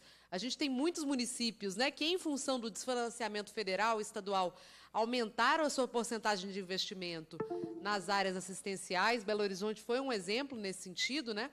mas a gente entende que não podemos ficar dependendo de uma realidade diversa de cada município. O município que acha isso importante constrói um centro pop. Outro município que acha que tem que exterminar a população em situação de rua não constrói nada. Não, não dá para ser assim. A gente precisa ter um alinhamento estadual e um financiamento da política que aconteça. E esse é, inclusive, o trabalho do Conselho, que o recurso seja ampliado, que ele seja empregado e que ele não seja desviado. E eu acho que o fato de se a gente tem um CEAS tão forte com mulheres incríveis à frente, fazendo esse controle social, é o que distingue, inclusive, o Fundo da Assistência hoje do FEM. Como eu disse, nós vamos fazer uma audiência semana que vem e parece que tem uma série de rúbricas lá, que, inclusive, pela sua fala, estão fazendo pagamento pessoal, pagamento de um tanto de despesa que não tem a ver com a atividade finalística. De fato, não deveria acontecer. E nós queremos fazer esse debate em relação ao FEM, que também precisa de um conselho robusto. Né? E depois dizer assim que eu entendo o equívoco da palavra subordinação dentro da secretaria, e é forte, né, gente? A palavra subordinação é a palavra opressão, é, é quase um sinônimo de opressão. Você se subordina ao seu opressor. A mulher que se subordina ao homem, é, a população negra se subordina à população branca, indígena. Essa palavra é muito forte. Só que não foi só um acaso. Nós aqui fizemos luta para que a palavra subordinação não tivesse presente na reforma administrativa e, infelizmente, ela se manteve se manteve. Então, a luta né, para que esse conselho seja insubordinado, uma instância real de participação e uma, rea, uma instância real de controle social, ele precisa ser ativo. E contem conosco aqui na Assembleia para continuar acompanhando essas situações de assédio que reforçam aspectos de subordinação do Conselho. Porque se a gente assedia uma voz dissonante, e eu entendo que as questões estejam hoje na comissão de ética, é, eu queria dizer que não é só a comissão de ética que tem atribuição para poder tratar isso. Que os casos podem ser trazidos aqui na Assembleia Legislativa e que, se necessário for, a gente convoca aqui os servidores que foram assediosos com as pessoas da assistência. Não vamos tolerar subordinação contra pessoas que são eleitas pela sociedade civil para fazer um trabalho gratuito para que a assistência social funcione em todo o Estado. Então, Queria deixar essa, isso aqui para vocês, tá, Alete? Que podem contar com a comissão para avançar sobre essas questões de assédio. E com os trabalhadores da CEDES, o nosso máximo apoio, porque a gente sabe que vocês têm feito o trabalho de vocês com afinco. E é preciso ampliar a estrutura. É preciso ampliar servidores. E o argumento da lei de, de responsabilidade fiscal ela é utilizada todas as vezes que a gente está tratando de questões que têm a ver com social, que têm a ver com ambiental, né? mas é, muitas vezes os recursos vultuosos estão sendo dispensados para o dono da localiza. É o que a gente está discutindo aqui no plenário. Não pode ser assim. Nós precisamos de ampliação das estruturas socioassistenciais no Estado, sim. É, e vamos fazer pedidos de providência nesse sentido, aprovar pedidos de providência a partir dessa audiência pública. É isso, gente. É, não sei se você quer comentar mais alguma coisa, Mari. Tá bom, obrigada. Eu vou passar agora. Cadê minha listinha? Vamos lá.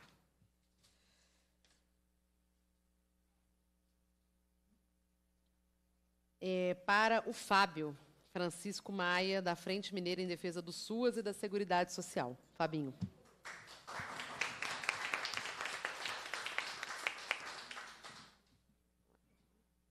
Boa, Boa tarde a todas, a todos, a todos presentes nessa audiência.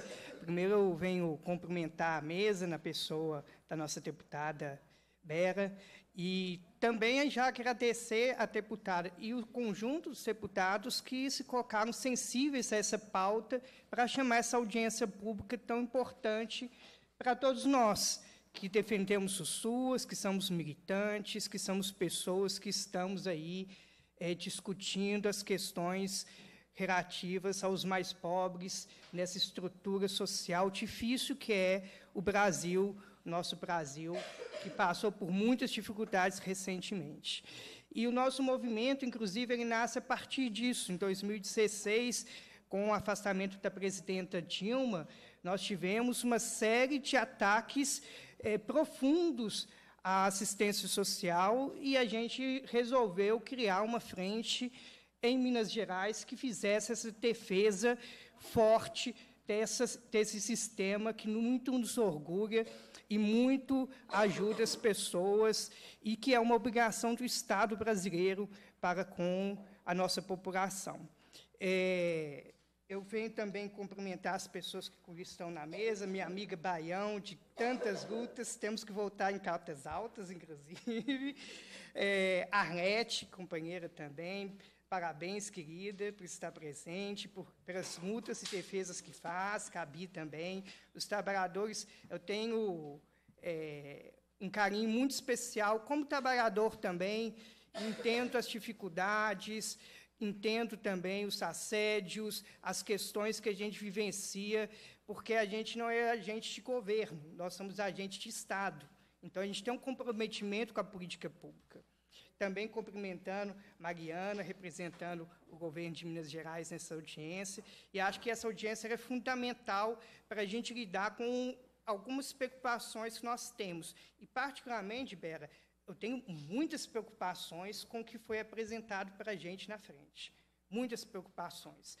A nossa impressão é que a gente retrocedeu enquanto capacidade de experiência de controle social. O Brasil tem mais de 30 anos de experiência de controle social. Então, assim, erros que estão sendo apresentados são coisas que já estão superados há algum tempo.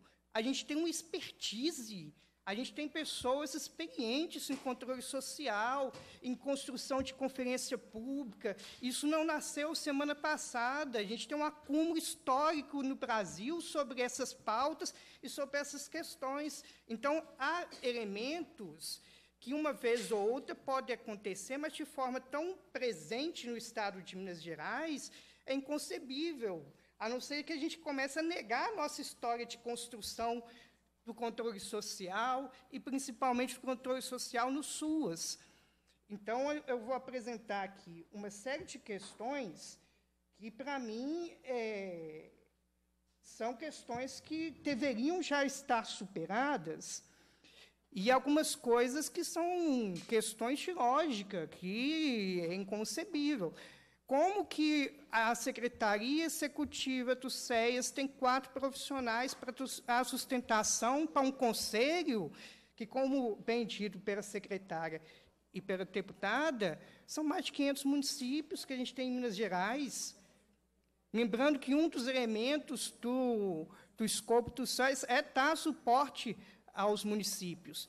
Então, como você tem um, um, um órgão tão importante que é central no controle social e tem quatro profissionais, é, sendo que o relato que a gente recebeu é que no começo dessa gestão eram nove profissionais. E que eu, que eu já acho que é pouco. O tamanho de Minas Gerais, pelos desafios que nós temos, pelas disparidades regionais, pelas disparidades sociais que nós temos no nosso Estado. Então, isso é um ponto nerval que a gente precisa discutir. Qual que é o processo, como que vai funcionar, como vai ser resolvido. Então, é, esse é um ponto. Mas há outros pontos, como, por exemplo, é, as dificuldades que, que, se tem no SES de encaminhamento das questões, dos trabalhos, das denúncias. É, chegou para mim, por exemplo, algum, alguns exemplos sobre essa situação, é, referentes a encaminhamentos, como, por exemplo, a barragem de Jequitaí, que, inclusive, foi matéria de televisão, que chegou no Conselho, não sei quanto tempo estará, e o, os conselheiros sem suporte técnico suficiente para dar conta da demanda. Isso é coisa gravíssima, isso não é uma coisa simples é, que a gente resolve de um dia para o outro, e nem é uma questão que pode ficar é, é, dando barrigada para se resolver. São pontos que já deveriam estar superados e que faz parte é da expertise do dia a dia do Conselho. Denúncia, suporte a municípios, todos esses elementos são do dia a dia de conselhos. Outra questão que é, nos pareceu assim estranho em relação às ao orçamento do Estado. É, me parece que a estrutura, e aí pode me corrigir se eu estiver errado, tá, Mariana? Mas parece que as estruturas de orçamento do Estado, além de ser é, o que é destinado aos CEAs, insuficiente para o conjunto que a gente tem de, de demandas, também parece que ele não é, entra como ponto dentro do PPAG. Parece que ele é dentro do FES, não é dentro do PPAG. Não tem é, orçamento é, destinado especificamente, ou tem? Tem, não, então desculpa. Ah, sim. Que foi suplementado para que foi, Sim, sim, entendi. É, e dois outros elementos que eu acho que são importantes para a gente contribuir nesse debate, uma é uma falta de institucionalização de alguns elementos dentro do rito. O que chegou para nós é há discussões, que têm encaminhamentos, que são necessários e que não têm passagem dentro dos ritos do Conselho que são necessários ter. Há exemplo da própria é, conferência estadual, que me parece que é, houve a convocação, tudo correto dentro dos trâmites, mas essa mudança que está tendo do Conselho, da conferência, da data da conferência, não foi oficializada dentro do Conselho. E aí a gente tem que fazer toda uma discussão sobre como que está sendo esse processo, até mesmo para essas discussões. E isso, é, para a gente, é, é, é, é, claro, mas é muito para zerar, pelo seguinte, nós fazemos conferência há 30 anos. Então, é, é, assim, já existe uma desperdício, inclusive um, um, um acordo não oficial, porque não precisa, porque já é da cultura do processo, que é o governo corre atrás dessa estrutura se apresenta para o SES, olha, vai ser assim, tal data, estrutura de alimentação, estrutura de hospedagem, não sei o que, local, etc. E o Conselho geralmente faz ajustes que são necessários, mas já, tá, já existe uma expertise de como isso funciona. E a gente vê uma, com uma preocupação enorme esse adiamento é, da conferência estadual, principalmente porque a gente lida com pessoas, gente.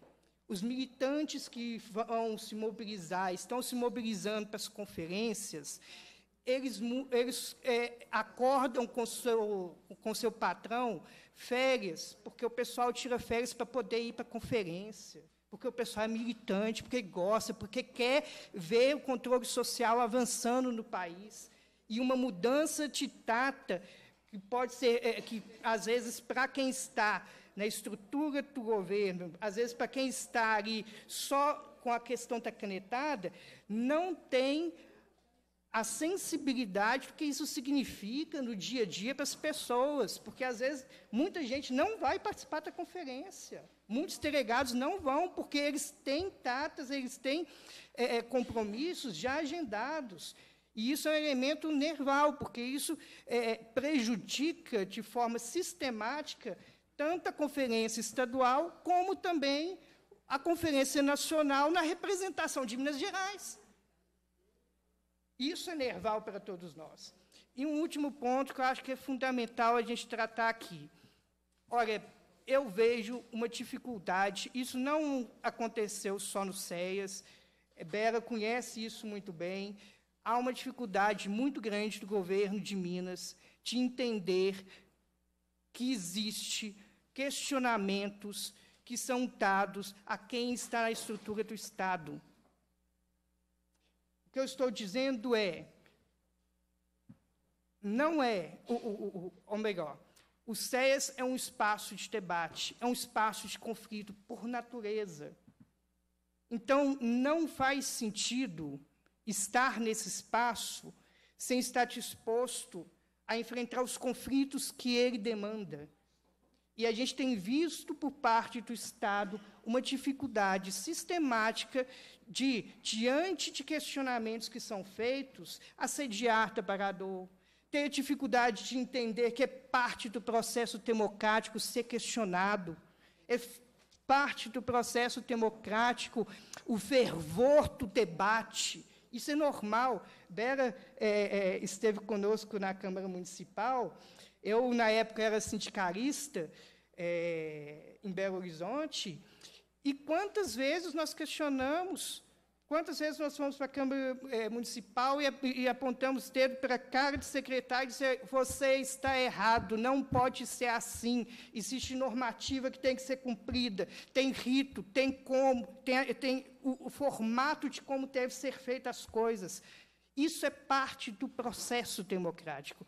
E muitas vezes a gente vê no governo do Estado uma dificuldade de entender isso e começa um processo de perseguição, de desrespeito, de não compreensão do espaço que significa o controle social e a participação popular, porque a participação popular significa conflito, e a gente necessita que tenha esse conflito para o Estado brasileiro avançar, porque senão ele não avança. Isso é uma diretriz, qualquer sociólogo é, que se prece aponta isso como elemento fundamental para o desenvolvimento de uma nação. Então, a gente coloca aqui todos esses pontos que a gente precisa lidar e que são extremamente caros para a gente no controle social, na participação popular, dos movimentos sociais, porque se não houver uma compreensão por parte do governo do Estado que esses elementos são fundantes do Estado brasileiro, a gente não consegue avançar. E hoje, o que acontece em Minas Gerais é que, por causa da forma que o governo conduz o processo junto com os CEAS, nós temos fragilidades e está sendo enfraquecido o controle social no Estado de Minas Gerais. Obrigado, gente. Obrigada, Fábio.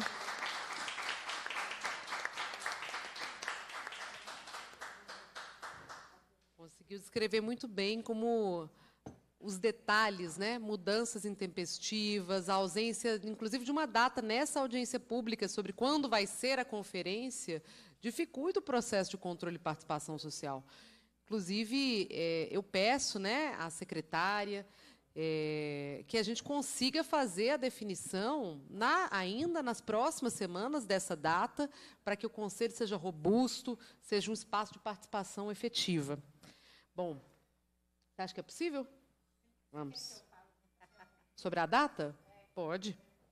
É, então, e o, os membros do GT de organização da conferência, acho que alguns aqui estão presentes. A data, ela foi, a convocação foi feita, a data de 3 a 5 de outubro, ela está posta. O que, que aconteceu nas últimas semanas? A gente teve um atraso no processo de inscrição da eleição da sociedade civil, porque dentro da conferência estadual também acontece a eleição da sociedade civil. Então a gente teve que prorrogar datas, porque esse processo ele foi atrasado, porque o conselho demorou para soltar uma resolução, e aí a gente precisava de dar mais prazo para as inscrições. A gente teve também, junto com a contratação do evento, a gente tem a contratação da relatoria. E aí essa relatoria ela é feita por uma instituição de ensino. Então, esse processo ele também tem que andar junto. O evento da conferência em si, ele é um evento para 1.100 pessoas, são três dias de evento. O mercado, vamos dizer, o mercado de eventos de Belo Horizonte, ele não tem tantas opções assim para um evento desse porte. E aí, o nosso processo é, de mapa de preços, que a gente chama, o nosso processo licitatório de contratação, ele teve essa coleta de preços com poucos participantes. E aí o pregão, ele vai ser realizado agora no dia 25. Então, a gente vai realizar o pregão no dia 25, a gente tem plenária amanhã e depois, a gente tem duas plenárias essa semana. E eu acho que a, a, data ela vai ser fechada. Além das questões que a gente vai definir em plenária, que eu acho que tem a ver também com a inscrição da, da, eleição dos conselheiros, a partir da contratação da empresa. E aí eu falo até mais, do sucesso do nosso pregão. Porque se o pregão for realizado na segunda-feira e a gente não tiver impugnação, pregão deserto, fracassado, alguma coisa nesse sentido da licitação, na segunda-feira isso já vai estar. É, resolvido e a gente pode, inclusive, manter a data do dia 3 a 5. O que aconteceu foi que, dentro do GT da conferência, dentro do GT da conferência, foi falar dessa possibilidade. Olha, gente, como já está ficando em cima da hora, talvez seja melhor a gente julgar um pouco para frente para dar prazo para mobilização. Eu concordo que a partir do momento que a gente tem um pouco tempo de mobilização, a gente pode ter redução na participação. A, a gente concorda com isso. Então, se precisar de julgar mais para frente, para a gente garantir uma melhor mobilização, lembrando que os delegados que vão para estadual, eles já estão eleitos. Essas pessoas já estão eleitas, elas foram eleitas na etapa municipal, depois regional, então a gente já tem a lista dessas pessoas, e aí a gente faz a mobilização junto aos municípios que vão custear a viagem e as pessoas da data. Então, mas eu acredito que segunda-feira, com o resultado do pregão e também com o término das inscrições da eleição da sociedade civil, que elas estão abertas até o dia 25. Até segunda-feira essa decisão tem que ser tomada, né? Dona Arlete e quem aqui é do GT de organização da conferência? Eu, é porque eu não estou no GT, mas é isso, gente. Vocês podem me complementar. É isso. É importante perceber que, de fato, a mudança é, da data ela causa prejuízos para a mobilização e, como você disse, para o próprio Estado, que precisa fazer um outro pregão, um outro processo. E isso reforça a necessidade de que os prazos consigam ser cumpridos, porque, com certeza, a parte dos conselheiros para trabalhar e deliberar está sempre à disposição, mas, às vezes, um equívoco é, pode atrasar esse processo, e é por isso que a gente precisa ter essa estrutura reforçada. Né? Mas que bom que segunda-feira, então, se, se define essa questão. Vou fazer questão de participar da conferência também. Vamos que vamos. Queria passar agora, gente, a palavra para é, quem que é o quinto? Peraí.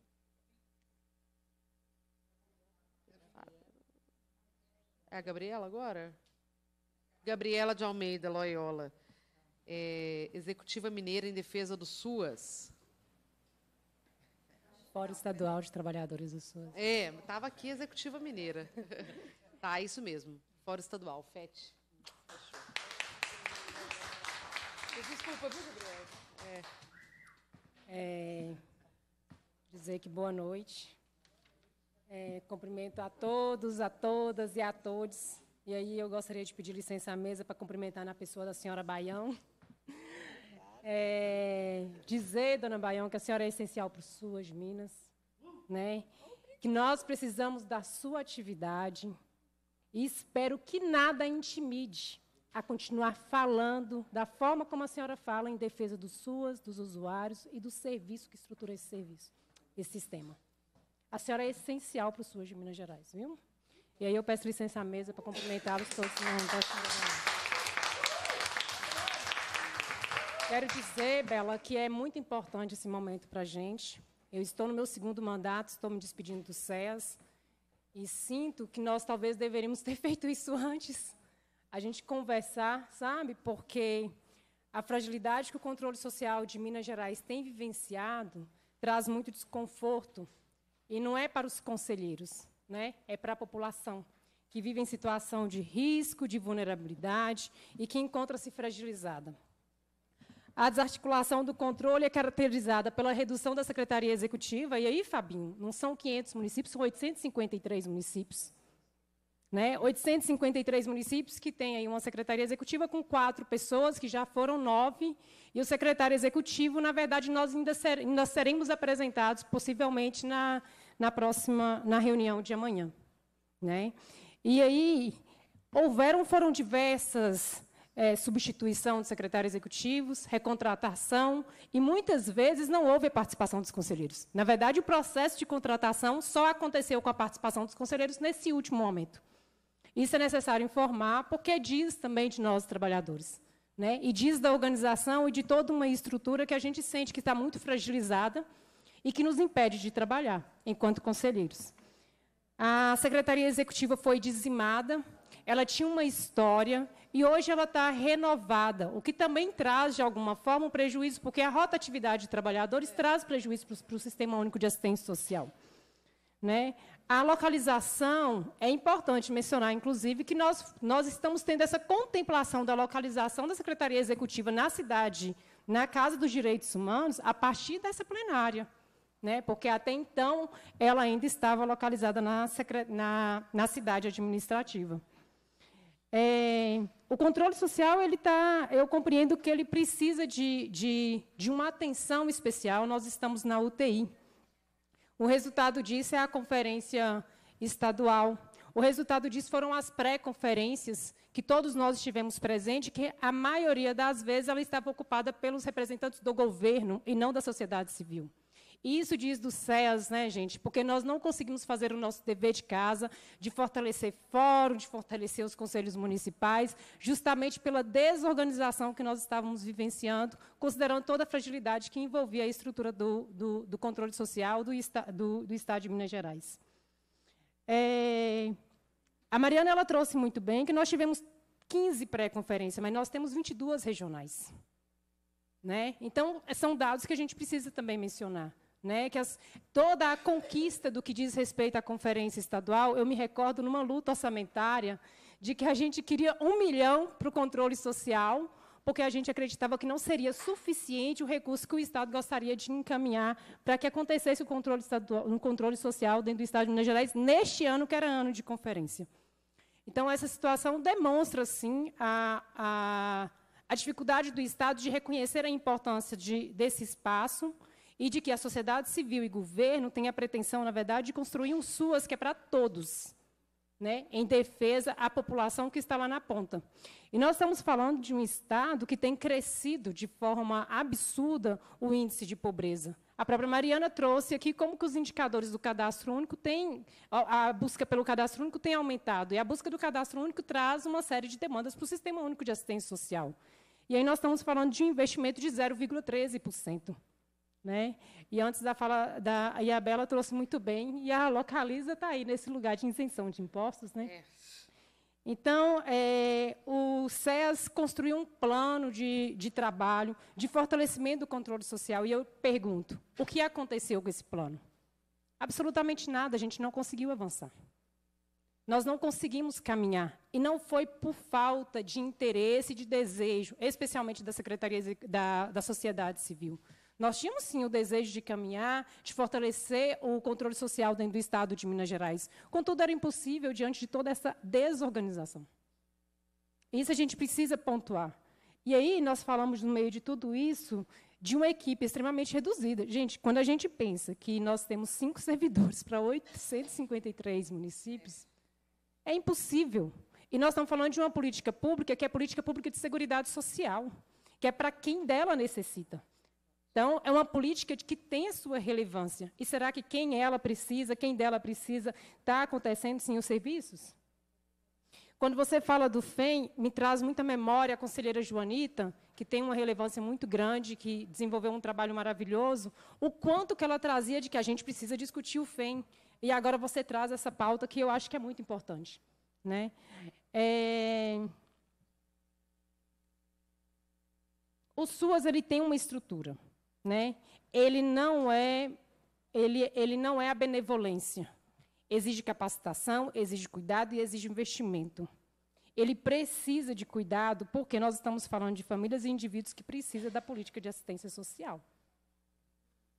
Né? Nós estamos falando de um estado em que há um crescimento gigantesco da mineração, sem a responsabilidade com as famílias e com a população atingida. Então, é, era isso que eu gostaria de trazer.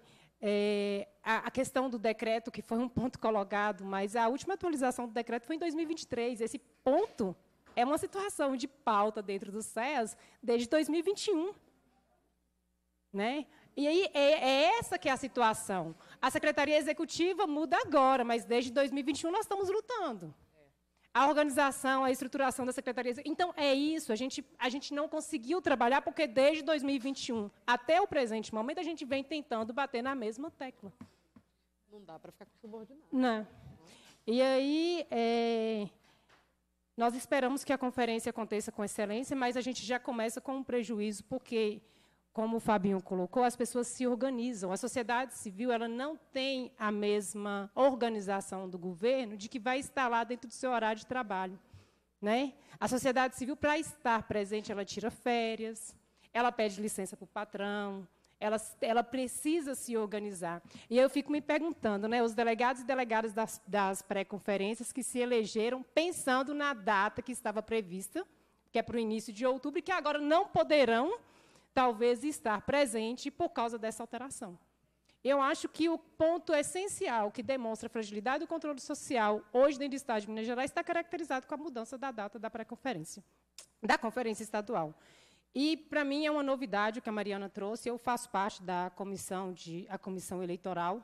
Eu não sabia que as alterações de data de, do processo eleitoral estavam nessa, nessa discussão de mudança da conferência. É, infelizmente, dentro do, do, GT em que eu estou, isso não foi colocado. Para mim é uma novidade, estou descobrindo aqui agora. Né? E é isso. Gostaria de te agradecer e colocar que o controle social precisa muito do apoio dessa casa. Obrigada. Obrigada.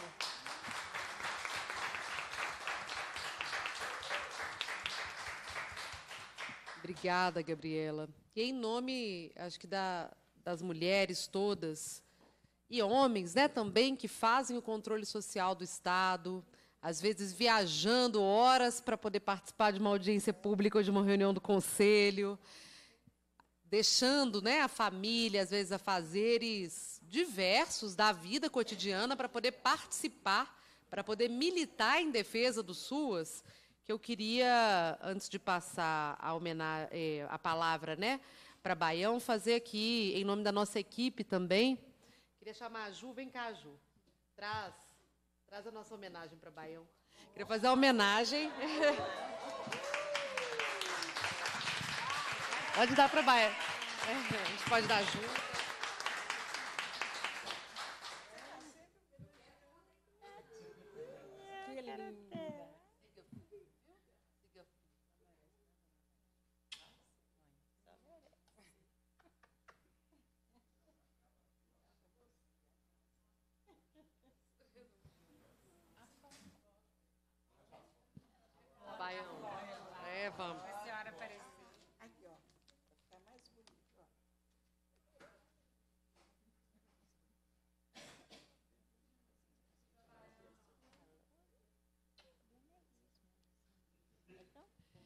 Isso é, na verdade, um reconhecimento, Baião, da sua importância para o Estado de Minas Gerais, da sua importância para o SUAS, da sua importância para as famílias que são usuárias do SUAS, sabe? Sei que, às vezes, a gente dá aquela baqueada diante de situações difíceis, da dificuldade da participação, mas vale a pena, vale a pena. E fica aí o nosso carinho, nosso agradecimento a você, tá bom? E te passo a palavra agora para para falar. para fazer para fazer o que você faz de melhor, Baião, que é o controle social, a defesa do SUS, do SUAS. Não, me pegou de surpresa. Ai, obrigada, Bela. Você sabe que eu tenho um carinho especial por você, né? Que sempre nos acolheu, conforme o Fabinho já falou.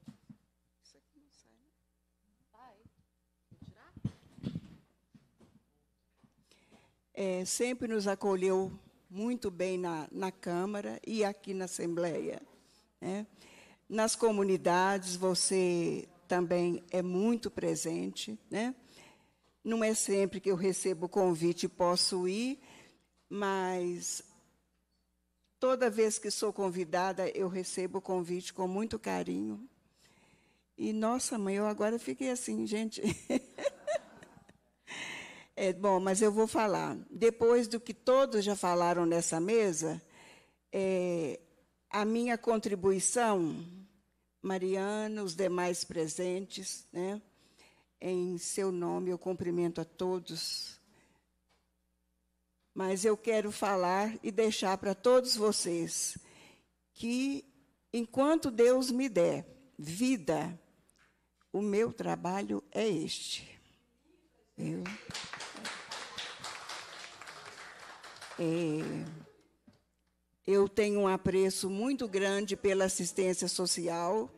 Não vou aqui colocar né, situações que já vivi, nas quais já precisei da assistência, mas todas as vezes que precisei, eu tive o amparo da assistência, que naquela época né, não era assistência social, era o social. Mas era um social que eu trago comigo e não tem como esquecer. Né?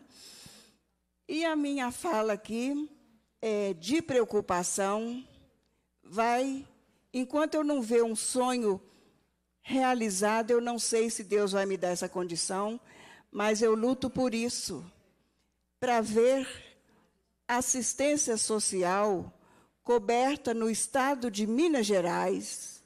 Hoje eu tive uma discussão lá na hora, a Gabi, né, na hora do financiamento, que eu falei assim, quando o Felipe ou alguém colocou da situação, não foi o Rodrigo, é, de, da situação aqui de Montes Claros, tantos municípios e tais e tais, área pobre. Então, Bela, eu falei com ele assim, mas não é a área mais pobre do estado de Minas Gerais.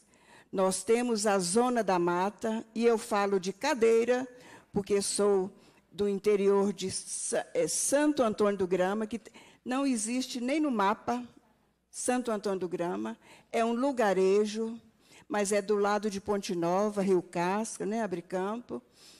E a miséria e a pobreza que está no campo, só a gente que vem de lá é que sabe contar. Viu, Mariana?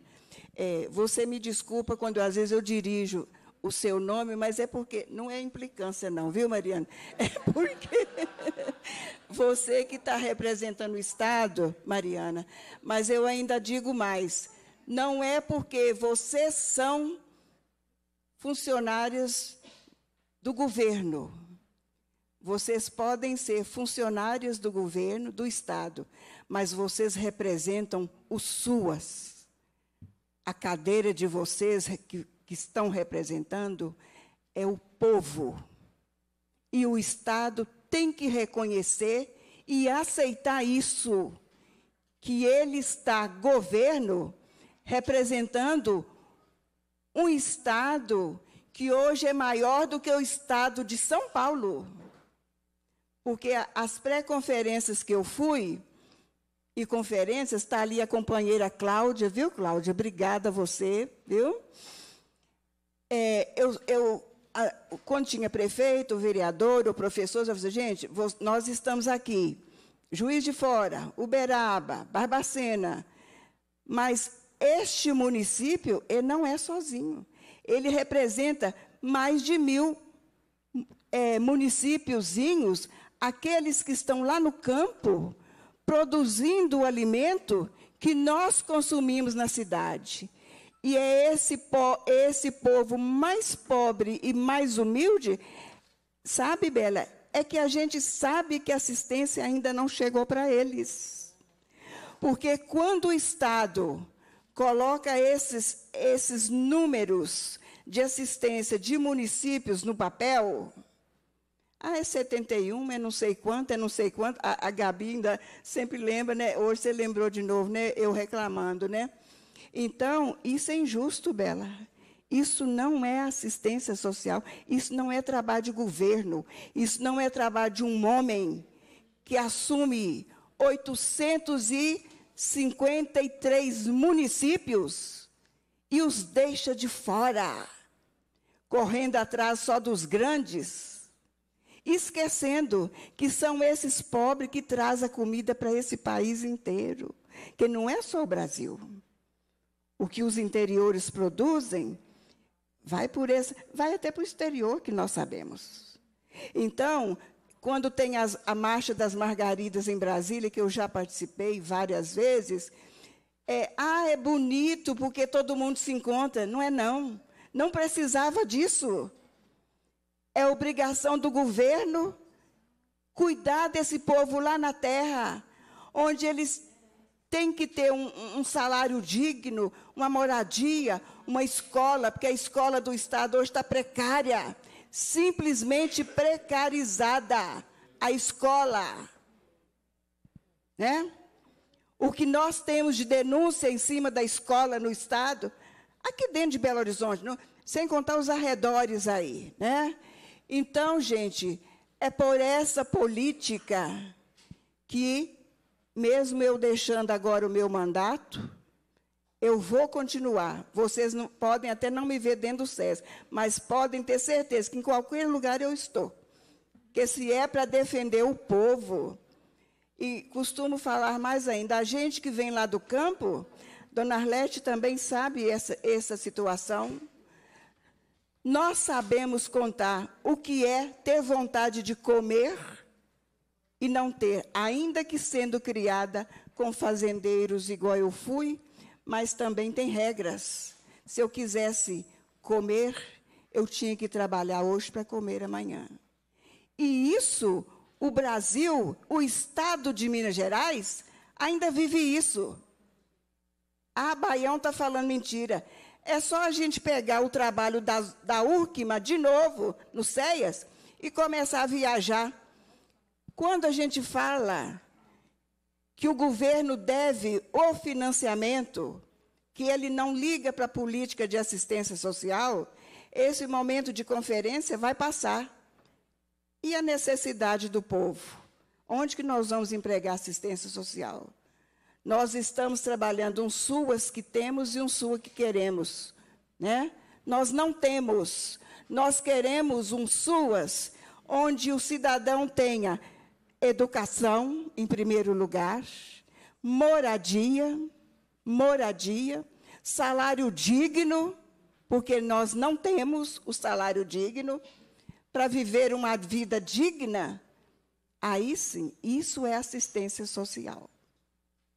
Isso é que é falta de ética. É não ligar para aquele que ele correu a trazer na hora do voto e hoje está lá jogado e abandonado. Isso é que é falta de ética. E eu costumo falar assim: isso Deus cobra. Deus cobra o dia a dia que a pessoa vive, Deus cobra. É uma força que a gente não vê, mas ela está presente. A Ele está presente. Isso eu tenho certeza que está. Então, gente, eu quero aqui é, deixar, né, pedir é, mais carinho com a comissão, a, a, a, secretaria executiva, com todos os demais, porque as meninas trabalham, né? Todo mundo tem defeito, ninguém é perfeito não, mas nós temos que reconhecer a qualidade deles, né? Da secretaria de todos, né? E que vocês é, me desculpe alguma fala que foi inadequada, né, nesse período meu, mas eu, eu tenho consciência de que o que eu falei foi para ajudar na construção, isso eu tenho certeza, né, o Fabinho também, que me conhece há anos aí da política, né, e quero aqui, Bela, para encerrar minha fala, fazer também uma lembrança que ontem nós tivemos 35 anos de SUS a política que na pandemia, se nós não tivéssemos tido dentro de Belo Horizonte, o Estado, o Brasil, o SUS, hoje talvez nós não teríamos umas cidades, nós teríamos cidade aí que hoje talvez nem existiria, né? Foi por causa do SUS, onde eu tenho muito orgulho de falar também que eu ajudei a construir, foi uma luta muito grande, como também foi o SUS, o SUAS, né? Mas eu tenho orgulho quando alguém vem, fala contra o SUS, eu defendo, defendo, porque nós temos profissionais muito bons, muito bons, e é a política que o povo tem. Não é só o pobre, não. Porque os planos de saúde, como são muito caros, o que, que acontece, Bela? A, a pessoa faz uma cirurgia e o plano atende, ele volta para o SUS. Ele volta para o SUS. É o SUS que acolhe, é o SUS que abraça. Então, eu né, não podia deixar de lembrar também dessa data, né, de um aniversário que foi o SUS, que foi mais uma conquista nossa, né, nossa do povão, para todo toda esse, é, é, essa nação, né, gente? Então eu quero aqui deixar o meu muito obrigada, o meu abraço a essa casa que sempre nos acolheu, a você, companheira. Não vou falar mais não.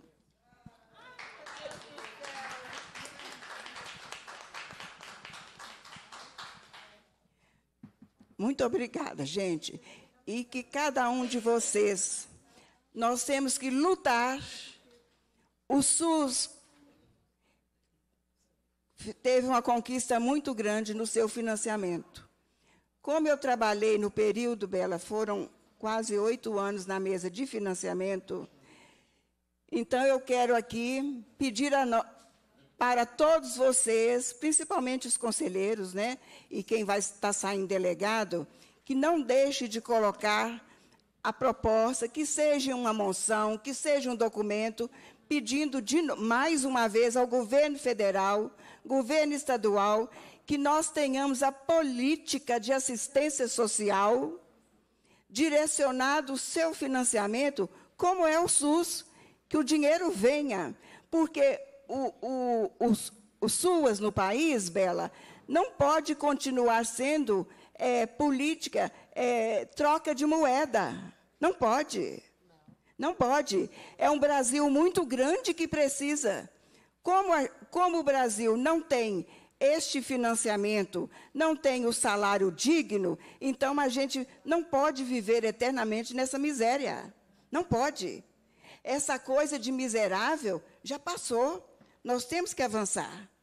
Então, a política de assistência, ela tem que ser é, considerada política pública, como é o SUS. O SUS. Tem que vir o seu dinheiro fundo a fundo. É obrigação do governo para acabar essa coisa. Chega política, todo mundo levanta a bandeira em cima do SUS, sendo que ninguém faz nada.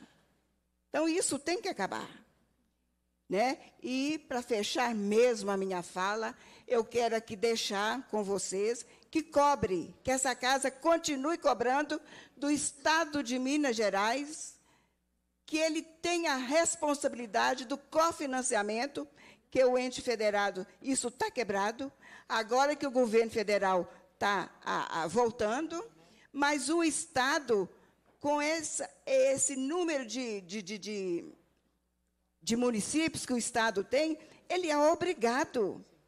Ele é obrigado a repor esse financiamento. Sabe?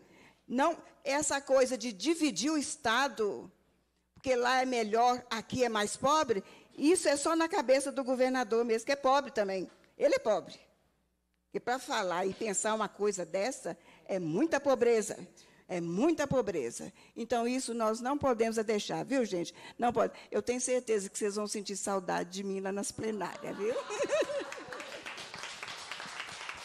Lançar o movimento Fica Baião.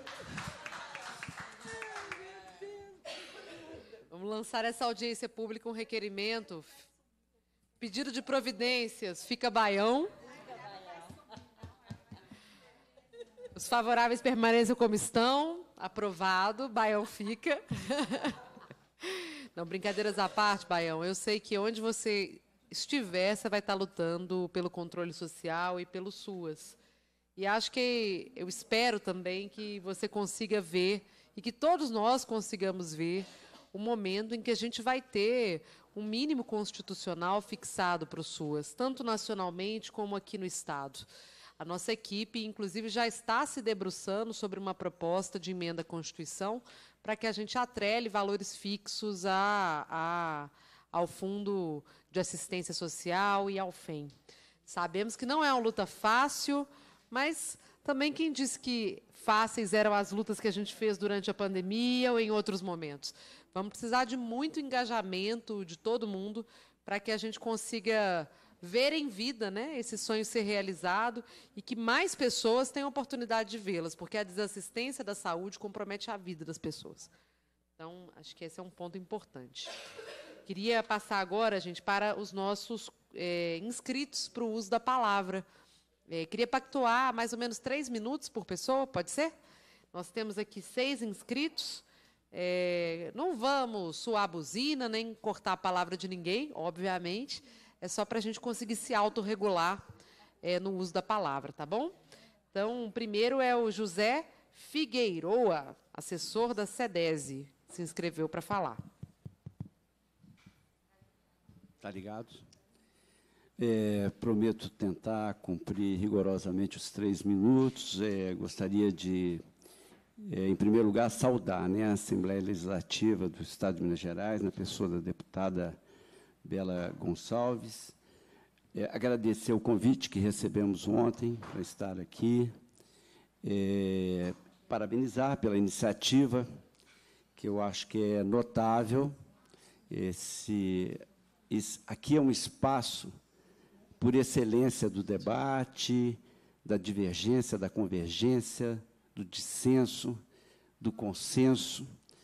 E é muito bom é, esse poder legislativo poder discutir uma política pública de assistência social.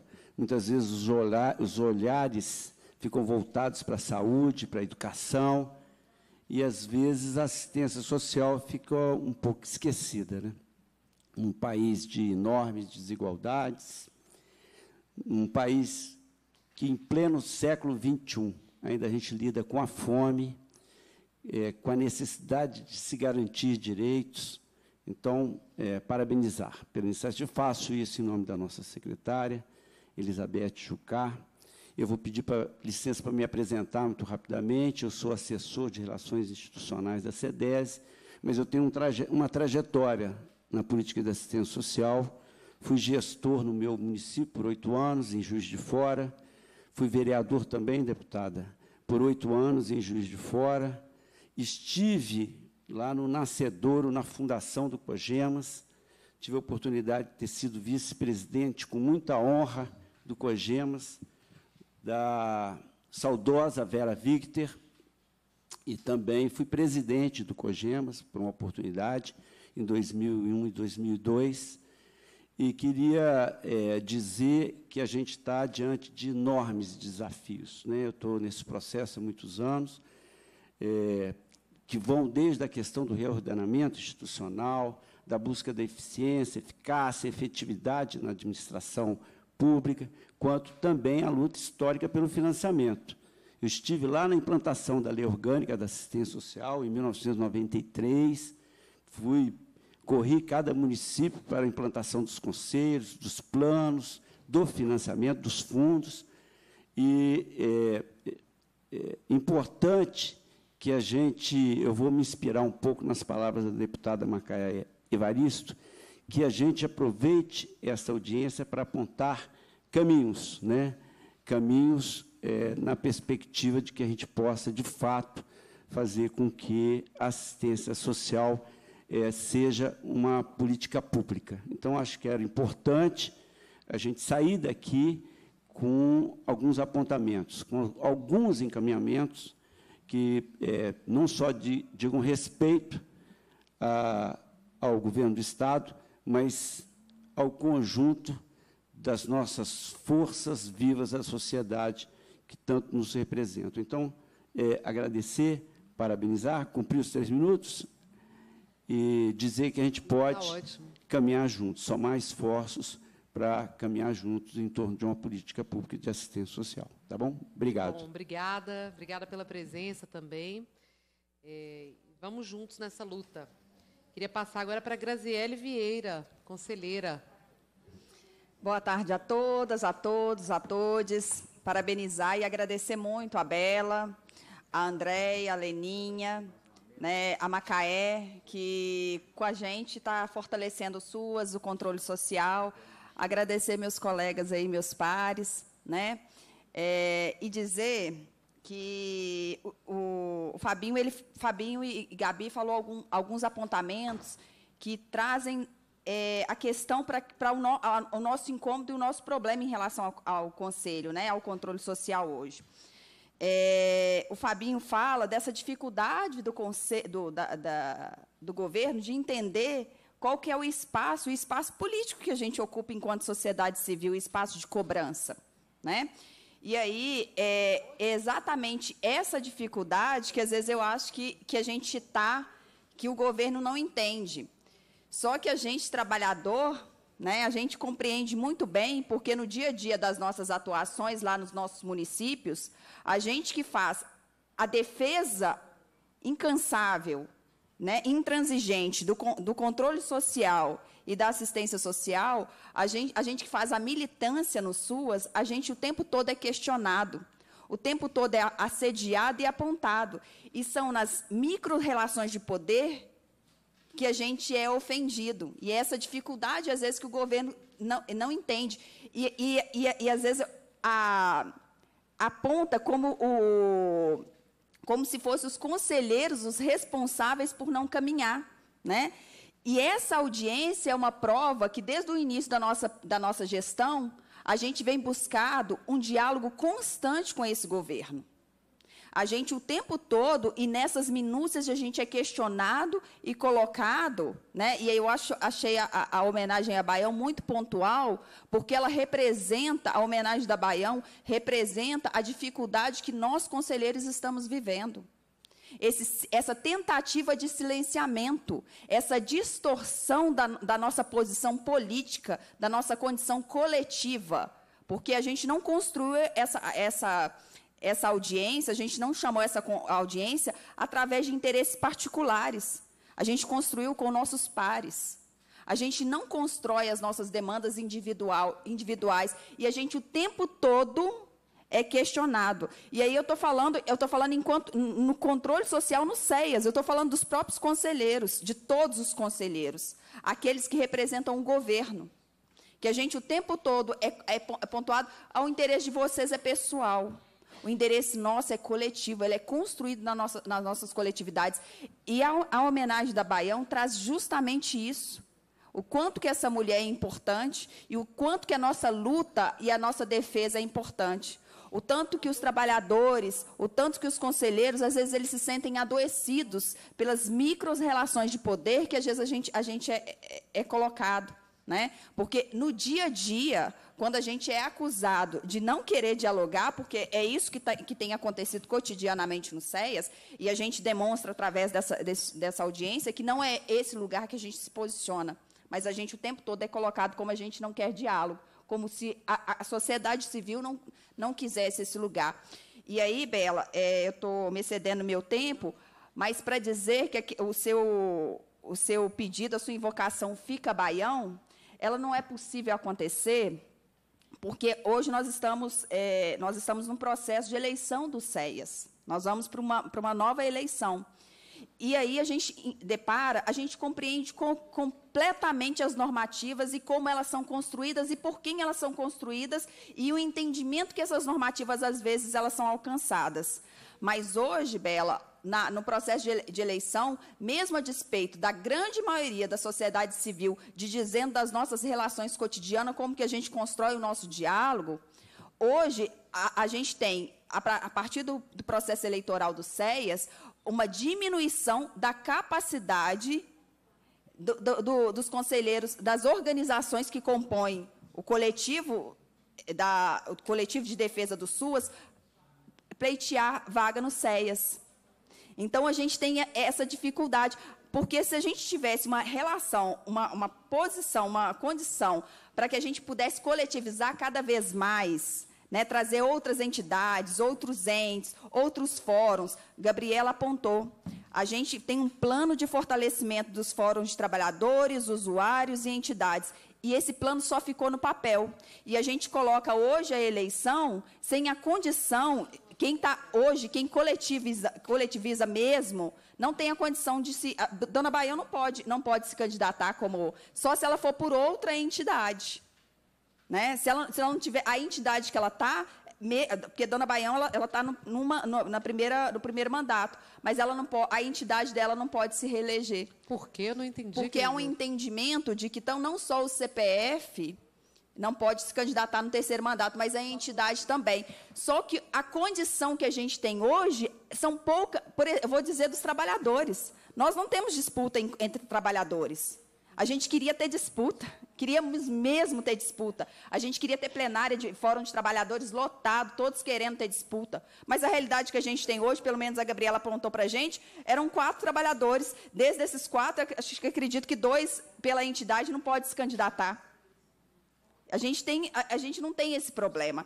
Então, o pleito que você faz não pode, não pode acontecer por causa do processo eleitoral. E o processo eleitoral que não, que, que assim, por um conjunto de vários fatores que culminam nessa dificuldade que a gente está, de, né, de- desses assédios, é, é, é, colocou a gente nessa situação enquanto, enquanto processo eleitoral.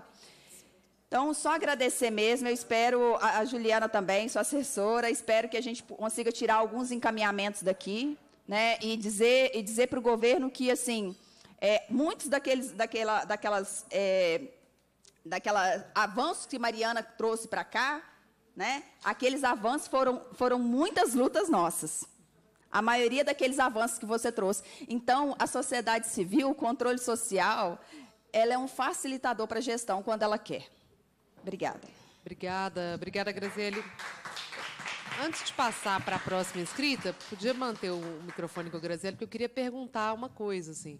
Não é o conselho que define suas próprias regras eleitorais? Sim, é o conselho, né? É, o conselho ele funciona, é, a- a- na verdade, assim, a gente tem uma, a- o conselho é feito por sociedade civil e, e governo, né? A gente tem a, a gente, a sociedade civil, a maior parte da sociedade civil hoje, ela apontou para essa dificuldade e para essa fragilização no processo eleitoral. A gente reconhece que a incapacidade que a gente teve ao longo desses últimos anos de fortalecer os as entidades, fóruns, URCMAs, instituições coletivas que pudessem fazer a defesa do, eh, defesa da- do controle social, elas, eh, a gente não pode ter, nesse contexto, essa, essa rotatividade de entidades, porque não tem entidades eh, suficientes para poder. Na verdade, assim, abre brecha para aquelas entidades que não coletivizam para aquelas entidades que, às vezes, por uma oportunidade, se candidata, mas não está, por exemplo, com a Frente Mineira coletivizando e criando demandas, de- trazendo, trazendo as demandas coletivas. Então, por exemplo, vou trazer o, o- a- o exemplo dos trabalhadores, dos trabalhadores. O CRES, né, o Conselho Regional, o Conselho Estadual de Assistência Social, ele não pode para um terceiro mandato. O- e aí, o CRP, ele não pode para um terceiro mandato. Né? E aí, o que, que acontece? As duas. E a gente entende, a gente gostaria muito, trabalhador, quem está na ponta do trabalho, a gente gostaria muito que a gente tivesse advogado, pedagogo, historiador, sociólogo, mas essa não é a nossa. A gente queria que a gente tivesse sindicatos, mas hoje essa não é a nossa realidade. Então, na ausência desse- de- dessas, dessas instituições que hoje coletivizam e fazem a luta, quem que vai quem que vai estar aqui? E a Gabriela fez um apontamento. Quando a secretaria de a secretaria executiva é desmantelada, a história a história do SUA se perde com esses trabalhadores que se vão. Quando esses coletivos saem de cena, né, esses coletivos que estão em defesa saem de cena, a história da assistência social também sai. Para a gente é muito difícil. A, ou a Gabriela está no segundo mandato, ela fala, agora que eu estou aprendendo, e- e é, é- é modesta, né? Porque aprendeu direitinho. Mas, assim, é difícil para a gente, enquanto, enquanto conselheiro, é, eu, eu, agora que a gente está começando a entender algumas coisas, é, e a gente não está aqui querendo cadeira fixa, não. Gente- eu já falei, a gente queria que tivesse ti- que a gente tivesse disputa, briga. A gente gosta da bagunça mesmo. A gente gosta da disputa. Disputa para que a gente tivesse a ocupação de cargos, porque isso traria gente nova, oxigenaria as nossas, as nossas ações e as nossas lutas. Só que hoje a gente não tem essa realidade. E aí abre brechas para instituições que não coletivizam que vão ser, trazer um, um, controle social cada vez mais individualizado. E é essa a nossa realidade hoje, Bela. Entendi. Obrigada, Graziela. E acho que isso é importante, porque às vezes a gente cria parâmetros de falsa democracia. Né? A rotatividade, excluindo entidades históricas que construíram os SUAS, ela não, não pode dar em boa coisa, porque, de fato, existe história, memória, é, peso de representação é, na construção do sistema, onde é preciso garantir que os trabalhadores estejam, que as, os fóruns né, de construção do SUAS estejam. Então, eu proporia, para a assessoria também, é, da comissão, que a gente faça né, essa provocação, é, tanto à secretaria quanto é, ao Conselho também, que avalie a possibilidade de revisão das regras eleitorais em debate com os conselheiros. Vocês acham que isso é importante? Beleza, vamos fazer esse requerimento também. Vou passar agora é, a palavra para a Sanora Regina Ferreira. Sandra. Sandra. Sandra? É Sandra Regina. Não, é porque está escrito Sanora, juro para você. Ah. Mas é isso. Sandra Regina Ferreira, assistente social do CEAS. E do Sindibref. Sindibref. Boa tarde. Talvez é por causa da, da emoção, né? Também de estar aqui, sair escrevendo. Eu até perguntei, eu me inscrevi? Ela falou, não, você assinou a lista. Aquela lista era para inscrever. Mas quero dar boa tarde né, a todas, todos e todos. É, meu nome é Sandra, né? Sandra Regina e cumprimentar, começar cumprimentando toda a mesa e agradecendo, né, na, na pessoa de Bela, todos os parlamentares, a Macaé, a Leninha, a Andréia, que estiveram aqui na mesa, né, pela essa oportunidade da gente estar aqui falando. Meus companheiros que estão aí, conselheiros, hoje estou no Conselho né, de, de Estadual de Assistência Social, representando trabalhadores, mas defendendo a política. Então, a Gabi, a dona Arlete, né, a Baião, eu faço um, cumprimento especial, porque temos caminhada junto né, de 20 e tantos anos, Baião. Né? Aí na luta, nas baldeações do ônibus para Brasília, para baixo e para cima. Né? Então, participamos dessa história. E cumprimentar a Mariana, o Fabinho, Mariana aí da CEDES, mas é o seguinte, gente.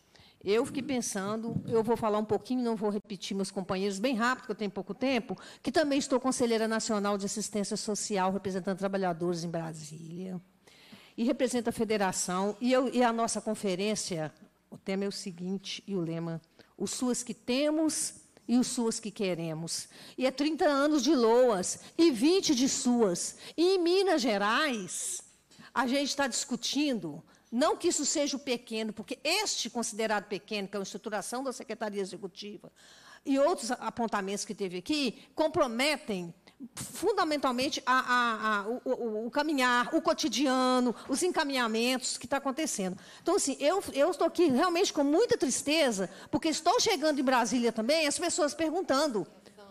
O que está acontecendo em Minas Gerais? A última foi, agora, no último pleno, o, o, o informe que vai adiar a conferência. Aí todo mundo, o que está acontecendo, por que está adiando? Então, eu quero colocar aqui da dificuldade que a gente vem enfrentando aqui no, no Conselho, que eu acho que está ligado muito à forma, à condução dos trabalhos desde o início. Isso começou lá com o decreto final de 2021, e isso foi se acirrando no cotidiano, com os encaminhamentos, com, com, com a questão de resoluções. Chegamos ao ponto, gente, Minas Gerais, olha, Minas Gerais, o SUAS, assistência social, tem as digitais mineiras. Não adianta, adianta a gente negar isso. E estamos lá também agora de volta com as nossas digitais maneiras, com o nosso secretário nacional André Quintão, com toda a sua equipe. Então, assim, quando a gente vê Minas nesse estado, o que, que eu fiquei pensando? O que está acontecendo que o governo, em determinada plenária, convida todos os governamentais, retire-se da plenária. O que está acontecendo que a sociedade civil decidiu, no momento, tranca a pauta no ano de conferência? É porque a gente quer fazer bonito? É porque esgotou esgotou a possibilidade do diálogo. E isso não foi hoje, de um dia para o outro, igual a Mariana trouxe. Todo, todo um relatório que foi feito, mas isso não está não tá sendo simples durante esses dois anos. Tem gente que já está saindo aqui né, nos mandatos, é o segundo mandato. Eu, enquanto sindicato, represento os trabalhadores das entidades que executam suas na ponta, né? Que tem proteção básica, que tem proteção especial. Então, assim, eu estou com muita tristeza nesse momento, mas de, fundamentalmente sendo necessário, porque tudo isso que vem acontecendo com estruturação da secretaria, a desestruturação, né? Que, que, que, que a sociedade civil fica muito mais precarizada para os trabalhos do que a parte governamental.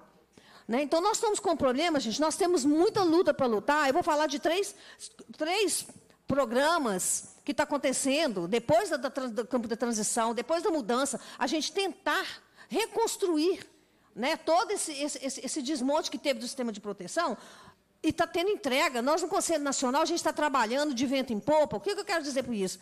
Que o, todo o trabalho que está acontecendo lá, a CIT, em pleno, em pleno trabalho, em pleno vapor, o Conselho Nacional vai ter para casa tem desdobramento para o nível estadual e municipal. Como é que vai ser Minas, Minas na questão do Procrage? Desse programa que está tá chamando aí todos os estados e municípios a rever o cadastro único. O que, é que vai ser do Criança Feliz, que agora está sendo reordenado, e indo para Bolsa, e indo para a proteção básica? Isso tem atribuições e tarefas importantíssimas para o nível estadual, nível municipal. E nós, não é que eu estou menosprezando o que está acontecendo aqui, por conta da condução, de como que está sendo feita. Essa desestruturação não está deixando a gente caminhar, a ponto de trancar a pauta dois meses, a ponto de governo falar assim, entre aspas, saiam todos, levantem-se todos e retirem-se da plenária. Esgotou. Então, algo certo está acontecendo aqui no nosso, no nosso Estado. Né? E para vergonha nossa, porque eu vou chegando lá em Brasília e falo assim, mas o que está acontecendo? E a última foi do, do, do, adiamento. Que desdobramentos que vai dar para isso? Também participei em algumas conferências municipais. Né? A gente respeita toda a gestão, mas eu acho que muitas vezes a questão está na, na condução, na forma que está, que está acontecendo e que acirrou né, chegou um ponto de, de desgastar tantas relações, está uma precarização na nossa relação de, de, de trabalho dentro do Conselho. E quanto ao financiamento, que foi falado aí, além desses tudo, né, desses elementos que eu falei, do Procrade, do Criança Feliz, do Bolsa sendo reestruturado, é muita coisa para reconstruir.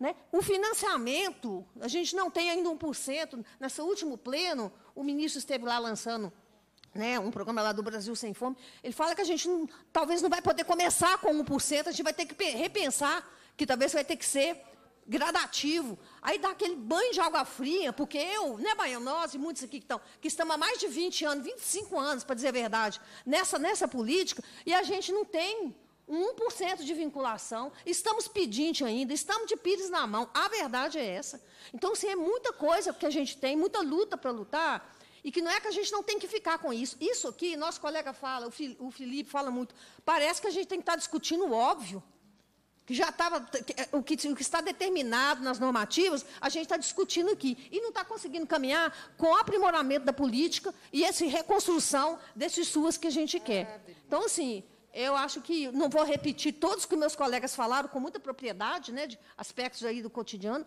mas assim é que a gente tem que reaver urgente a, a, a, as relações, porque eu fiquei muito, assim, estou muito incomodada com esse acirramento que chegou ao ponto máximo. O governo retira, tira os governamentais de um pleno. E a sociedade civil propõe isso. Não é porque a gente está brincando, não. É porque realmente as coisas estão caminhando e foram, né, às vezes, acontecendo de forma aprimorada, é, é, atropelada. Então, eu me coloco aqui também como parte do, do conflito, que nós também somos parte do conflito né? a sociedade civil, o governo não é só o governo. O, a gente tem que resgatar urgentemente para poder caminhar, e eu vejo que Minas já vai sair perdendo com esse, com essa, esse adiamento da conferência, pouca participação dos, de, de, de, né, do, dos, dos delegados. A gente vai ter isso, já está em nível nacional. Todos os relatos, posso dizer em 80%, o baixa, a baixa presença de usuários nas conferências, isso não é só Minas Gerais. Né? O adiamento, né? não foi só Minas, São Paulo também está pedindo adiamento. Isso vai comprometer.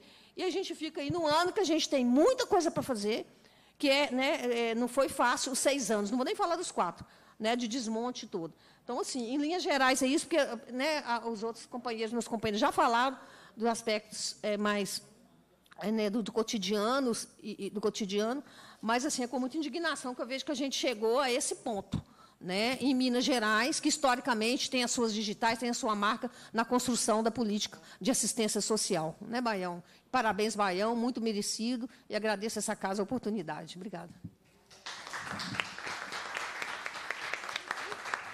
Obrigada, Sandra. E, de novo, te peço desculpas. É muito ruim errar o nome das pessoas. Mas, e, mas sua fala foi precisa, né?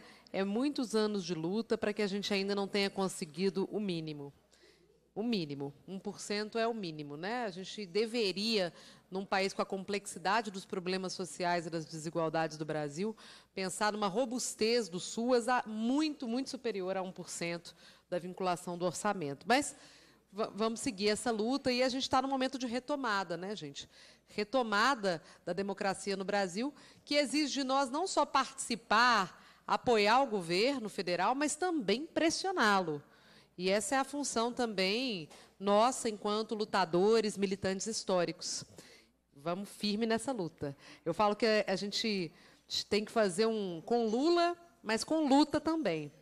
Porque muito tempo nas eleições a gente acreditava que apenas as eleições seriam suficientes para poder reconstruir o Brasil. Mas não, é preciso de muita luta para reconstruir o Brasil, muito controle social, muita participação, e é por isso que a defesa desse espaço é tão importante. Passar agora para Georgiane Souza, presidente do COGEMAS, MG. Boa noite a todos. Hoje já achei bonitinho todas. que vocês estão em fila, assim. desculpa, desculpa, segue. Só. Mas é, é até interessante. Passou como lista de presença, todo foi assinando. Então agora nós vamos aproveitar para falar. É verdade. Então, boa noite a todos e a todas. Né? Primeiramente, quero cumprimentar a mesa, cumprimentar aí a Bela Gonçalves, cumprimentar também aqui juntamente todos os colegas do SEAS, a Mariana, subsecretária, né? a dona Arlete, a nossa presidente do SEAS e falar o quanto é importante esses momentos, o quanto essas discussões são necessárias, essas relações próximas mesmo entre o legislativo, entre também as instâncias maiores de regulações, né, toda a questão mesmo, para a gente poder estar tá trabalhando aí um fortalecimento do SUAS, tanto no nosso estado como no nosso Brasil. Todos que estão aqui nessa sala, eu tenho certeza que têm um objetivo único, que é o fortalecimento do SUAS. E, por exemplo, como foi muito bem citado, Ficamos horas e horas, muitas vezes, discutindo as demandas do SUAS e muitas vezes, talvez, a gente vê pequenos avanços. Mas é uma gotinha de cada vez e é assim que se vai se alcançar os resultados. Baião é uma prova disso. Eu vejo que a homenagem para ela foi muito merecida. Ela sempre tem falas muito precisas dentro do nosso conselho, tem uma participação muito ativa e uma luta uma luta que ela traz de vivência que ela teve, junto também com Dona Arlete, e que a gente retrata aí nesse momento já a demanda e a busca que a gente tem junto à questão mesmo dos âmbitos estaduais e federais. Acho que foi muito feliz a fala das, das deputadas, né? A gente está aqui para cuidar de gente e que o nosso SUAS acontece no município. É onde estão as pessoas, é onde está o trabalhador e é onde está o usuário. Mas nós só vamos alcançar esse resultado quando nós todos dermos as mãos. É, dentro da política da assistência social, existe a rede socioassistencial e a intersetorial. E é uma questão muito clara que eu acho que a gente tem que trabalhar muito. Não só essa rede de setores e socioassistencial, mas também uma unificação das três esferas: município, Estado e federação. Quanto mais unificados estivermos e buscarmos o fortalecimento do SUAS como objetivo único, melhores serão os resultados. O COGEMAS representa hoje os municípios, né, os gestores do nosso Estado, e traz aqui juntamente esses desejos e esses anseios. E coloca também todos os gestores unificados nessa luta e buscando esse, esse resultado. Isso prova disso, nós fizemos reunião com o governador, apresentamos para ele solicitação de ampliação mesmo do recurso repassado à política da assistência social, em busca mesmo desse fortalecimento. E fortalecimento também das equipes, porque a gente sabe o quanto são fragilizadas. Quando você se fala que a secretaria executiva tem, é frágil, não é só ela. Uma diretoria regional é frágil, outros setores são frágeis. E isso não é uma situação que a gente vai falar que ela está justificada por algum assunto ou não. Ao longo do tempo isso aconteceu. E agora nós temos que pensar em conjunto como resolver. Qual vai ser a questão? Como vamos tirar, talvez, a política da ciência social desse índice de responsabilidade fiscal, como você mesmo cita, deputada? Como nós vamos trabalhar nesse sentido, para assim a gente conseguir resolver esses problemas? Então, nosso querido Figueiredo falou aqui já nesse momento de encaminhamentos. E é isso que os municípios de Minas Gerais esperam a partir de uma movimentação tão importante promovida aí pela Arlete e por todos os outros membros do SEAS a partir dessa reunião. Muito obrigada. Obrigada. Obrigada, Josiane. Vou passar agora para o Helder Carlos, vice-presidente do SEAS. Então, boa noite. É, Boa noite. Meu nome é Helder, eu estou vice-presidente do CEAS desde junho, se eu não me engano, ocupando esse lugar na presidência junto com a dona Arlete. E a gente tem tentado muito, né, dona Arlete, conversado muito nesse período sobre maneiras mesmo de melhorar essa relação governo-sociedade civil. Acho que a gente conseguiu avançar em alguns pontos, outros ainda precisam acontecer. É, e queria falar principalmente sobre essa questão da, da conferência estadual, é, até antes da gente ter feito essa proposição, essa, essa verificação se poderia alterar a data, Dona Arlete e eu conversamos muito e a gente falou muito sobre isso, que dos prós e dos contras, que a gente tem né, o pró de adiar e ter mais tempo para organizar, mas tem o contra que já foi falado aqui, de pessoas que se organizaram para ir e não vão poder ir. E aí, só esclarecendo que fizemos, é, só explicando melhor que fizemos uma, uma reunião do grupo de trabalho da comissão organizadora da conferência, que é coordenado pela dona Arlete e eu, e a gente trouxe essa informação, essas dificuldades que a gente estava encontrando é, para encontrar o local. Os estados, os maiores estados, que são justamente São Paulo, Minas, e eu também recebi a informação de Bahia, estavam com esse pleito por dificuldade de achar locais para realizar esse evento, essa, essa conferência. Nós temos 1.100 delegados, então a gente precisa de um lugar que atenda todo mundo com qualidade, com acessibilidade. E as empresas, né, os locais que poderiam fazer isso, não estavam enviando orçamentos para a gente. Então, a gente não estava conseguindo fazer mesmo o processo de compra. Tudo isso foi explicado lá na reunião, alguns conselheiros participaram, a gente, foi até uma reunião muito boa, né, e a gente ponderou isso mesmo, que, infelizmente, a gente teria que lidar com, essa, com esse desafio. Então, só deixando, deixando isso, isso mais explicado, que houve, de fato, essa reunião. E também ponderamos a questão do, do processo eleitoral, que até então ele ainda não tinha sido, né, ele não tinha engatado, a gente não estava recebendo tantas candidaturas, algo que agora a gente estendeu o prazo até o dia 25 e, com isso, recebemos mais candidaturas. E reforçar, essa, reforçar esse nosso compromisso, assim, de sempre passar as coisas dentro das instâncias de maneira adequada, é, com a participação da sociedade civil e pensar sempre que a gente está todos. E, é uma coisa que a gente fala muito, tanto a dona Arlete já falou isso, quanto eu falei isso no, no SESI. Às vezes gente, e a Yara fala muito isso também. Às vezes a gente começa a discutir, mas a gente está falando da mesma coisa. Só que a gente está discutindo, discutindo, discutindo, então a gente tem tido esse esforço de achar consensos e tentar fazer o ambiente do conselho um ambiente melhor para os servidores que trabalham na Secretaria Executiva, para os servidores da SEDESI. E é isso, muito obrigado. Obrigada, Helder. Agora, a última inscrita é a Gabriele Silva, conselheira do SES, também representando a SEDESI. Boa noite a todos e a todas. É, sou Gabriele, né? Sou servidora da SEDESE, também conselheira do CEAS. Acho que eu já me sinto bastante contemplada com a fala dos meus colegas, principalmente dos colegas da mesa. Agradecer a deputada pela receptividade dessa agenda, é, agradecer Mariana né, pela apresentação das informações, que eu acho que trazem né, elementos importantes que, que mostram notoriamente alguns avanços com relação ao SUS estadual, mas a gente tem plena consciência né, que a gente precisa avançar muito mais, a gente precisa fortalecer esse sistema. É, faço coro com a fala da dona Arlete, da Gabi, né? Nós somos um conselho único, paritário, mas único. A gente não. É, governo e sociedade civil não são inimigos, a gente tem o mesmo objetivo, né? De defender, fiscalizar, fortalecer o Sistema Único de Assistência Social.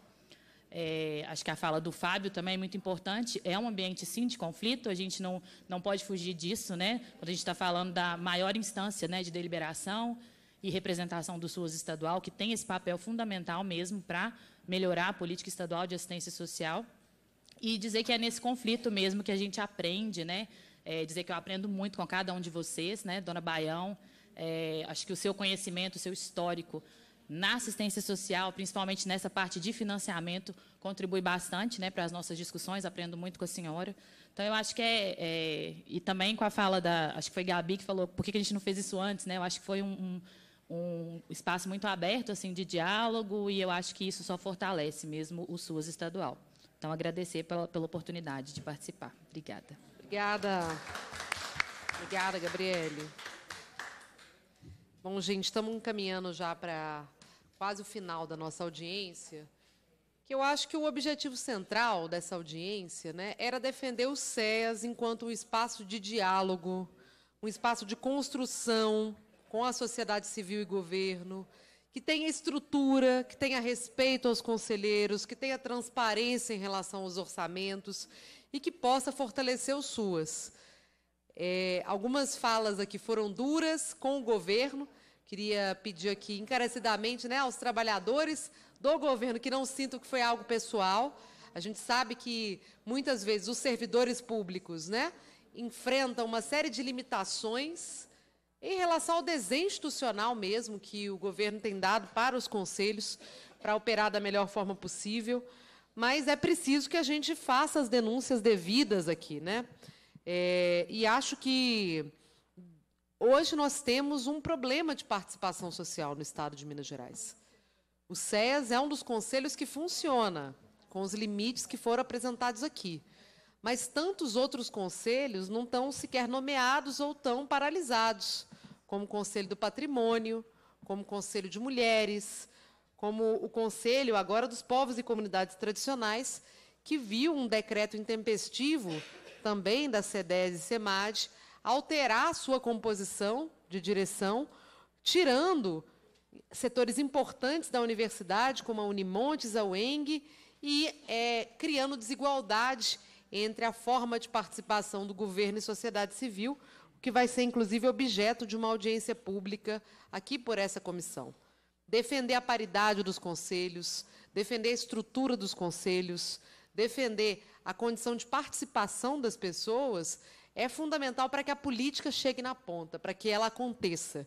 E essa comissão vai fazer todos os esforços para que isso, de fato, é, se efetive. Eu vou ler aqui todos os requerimentos que a gente tirou dessa comissão, depois eu vou abrir a palavra para saber se vocês têm alguma outra sugestão de requerimento também, para que a gente possa, possa fazer. Mas queria reiterar aqui, gente, que se o recurso hoje para assistência ele é 0,13% do orçamento do Estado, nós temos o Fundo de Erradicação da Miséria, que corresponde a 839 milhões de reais ano. Isso já corresponde a 1,53% do orçamento do Estado.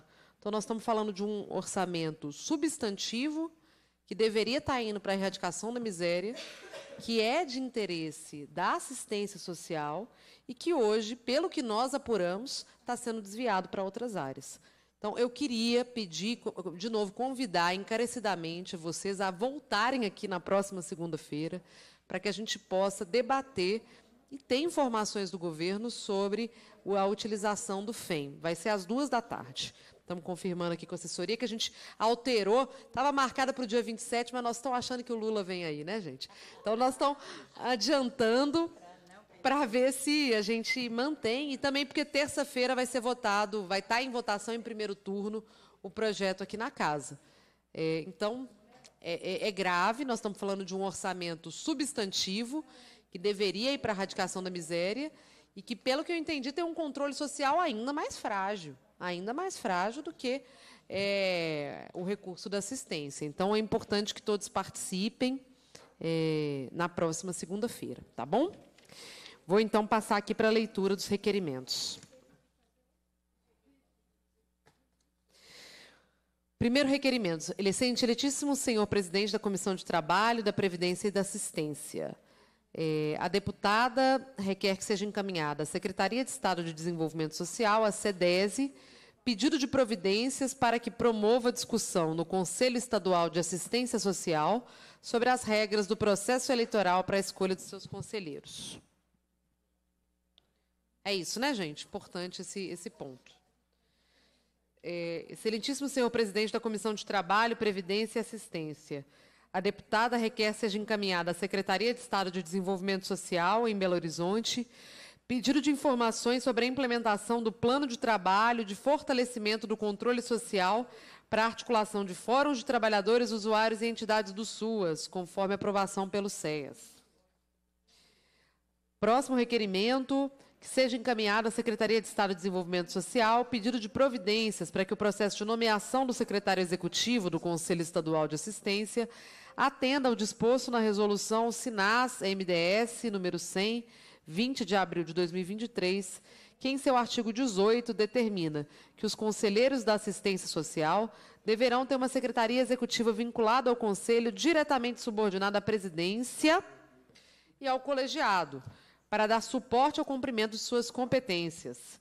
E no artigo 5 do mesmo artigo, né, parágrafo 5 do mesmo artigo, que os conselhos de assistência social definirão o perfil do secretário executivo.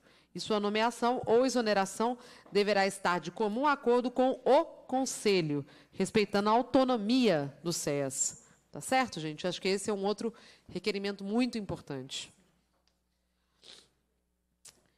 Próximo requerimento, pedido de providências para promover a recomposição qualificada da equipe da Secretaria Executiva do Conselho Estadual de Assistência, tendo em vista o volume de suas atribuições institucionais previstas na Lei nº 12.226, de 23 de 7 de 96, e atualizações posteriores, notadamente o acompanhamento, avaliação e fiscalização do serviço de assistência social prestados pelos órgãos governamentais e não governamentais dos 853 municípios do Estado. É, deputada Bela Gonçalves.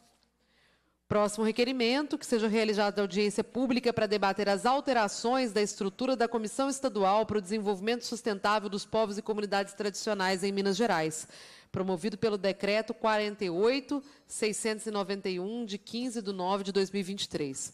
Foi esse que eu comentei há pouco, né? Também autoria Bela Gonçalves. E o último, excelentíssimo senhor presidente da Comissão de Trabalho, Previdência e Assistência, a deputada requer seja encaminhado à presidente do Conselho Estadual de Assistência pedido de informações sobre planos, projeto e deliberações que estão pendentes por falta de suporte técnico ao CEAS. Também, deputada Bela Gonçalves. Euzinha, vamos embora. É, queria perguntar à, à mesa se tem alguma questão a mais a propor em forma de requerimento, que vocês não tenham visualizado, ou se esses aqui estão contemplando as demandas. Bom, eu não sei se isso passa por um requerimento, mas é muito importante que a gente tenha as assessorias, né, da, dos mandatos participando dos nossos plenos, né? É, os conselhos, todo mundo sabe que pode ter a participação é, das pessoas, inclusive elas podem opinar. O que não é, é, é, é da ordição dos convidados e convidadas é o voto. O voto ele é né, é, é, é, é dos conselheiros e conselheiras titulares ou de suplentes em caso de ausência dos titulares. E isso é muito importante, essa presença, porque isso vai garantindo um fluxo entre as casas. E de mais a mais, também já, já vou caminhando aqui para finalizar minha fala, no sentido de agradecimentos, é dizer que esse espaço precisa ser mais ocupado, mais dialogado e o trato com, com as parlamentares, parlamentares, enfim, principalmente essas que nos receberam, que nos deram esse apoio nessa fala, isso, isso não seja uma coisa assim esporádica.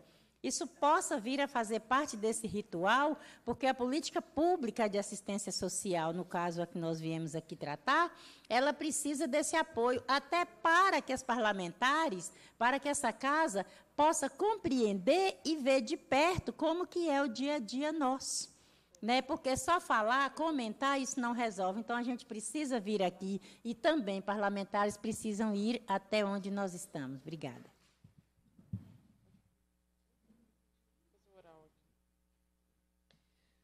Obrigada, presidenta. Ó, oh, é, eu até perguntei aqui se a Assembleia Legislativa tinha uma cadeira, né? No SES não tem, que essa seria inclusive uma boa solução, né? Assim, algum deputado, deputada ser conselheiro é, do SEAS. Mas já que não tem, de qualquer maneira, é, isso não, não impede que as nossas equipes participem. Então, eu queria solicitar né, a, a, a agenda, que mandem para o nosso e-mail institucional de forma e para a nossa assessoria, para que a gente possa acompanhar os debates. É muito importante, eu acho que dá continuidade, inclusive, às deliberações dessa audiência pública. Tá bom? Vamos sim. É, com a palavra, Gabriela. Estou emocionada aqui com os encaminhamentos. Até falei com a dona Arlete que eu vivi para ver isso, né? É, oh, Bela, tem uma, tem uma questão que eu acho que é importante a gente levantar. Eu estou na representação do Fórum Estadual dos Trabalhadores do SUS. O, como a dona Baião falou, o SUS foi essencial na pandemia, mas o SUAS ele demonstrou sua importância também na pandemia. Né? Fomos nós que socorremos as famílias que não podiam sair de casa e que não tinham recursos. Esses trabalhadores encontram adoecidos. E a nossa pauta ela é de resistência desde a vacinação. Eu não sei se é de seu conhecimento, mas nós não fomos público prioritário para vacinação. Sei, fiz audiência sobre isso. E aí, é, são pontos que a gente precisa, inclusive, ainda continuar discutindo. Todas as vezes que vai falar de vacinação, os trabalhadores do SUAS não encontram-se dentro da prioridade. Né? A gente precisa de uma política pública que, vê, que olhe para os trabalhadores do SUS, porque o SUS hoje já tem até uma organização de atendimento às condições dos trabalhadores do SUS por causa de todas as questões que envolveu a pandemia. E quem está olhando para o SUS? SUAS? Esse é um ponto que a gente tem falado constantemente. Né? A organização da sociedade antes da pandemia e pós-pandemia é uma coisa. Né? E os trabalhadores do SUAS, ela, ele está lá para poder oferecer uma política pública que encontra toda desorganizada, considerando o volume de trabalho que tem acontecido. A proteção social básica, a proteção social especial, está tentando, de alguma forma, oferecer um serviço, mas de muita, com muita precariedade e trazendo muito adoecimento. Então, a gente também precisa conversar sobre isso. E isso tem sido, inclusive, ponto constante de pauta dentro do, dentro do SES, porque a gente precisa chamar a atenção pelas condições de trabalho que os trabalhadores do SUAS têm vivenciado. Certo. Eu vou, eu vou pedir, então, para a assessoria produzir também esse requerimento, porque é isso, né? Assim, a, a, pandemia passou, mas a gente sabe que existem várias pandemias, endemias, é, que o nosso povo está sujeito. Então, ao Ministério da Saúde e à Secretaria Estadual da Saúde que considere os trabalhadores do SUAS enquanto públicos prioritários das campanhas de vacinação, das campanhas não, né, dos processos de vacinação pelo SUS. Eu fiz audiência pública sobre isso na Câmara de Vereadores, porque quando chegou a vacina para todo o serviço que foi considerado essencial, e o serviço de assistência foi considerado essencial na pandemia, né?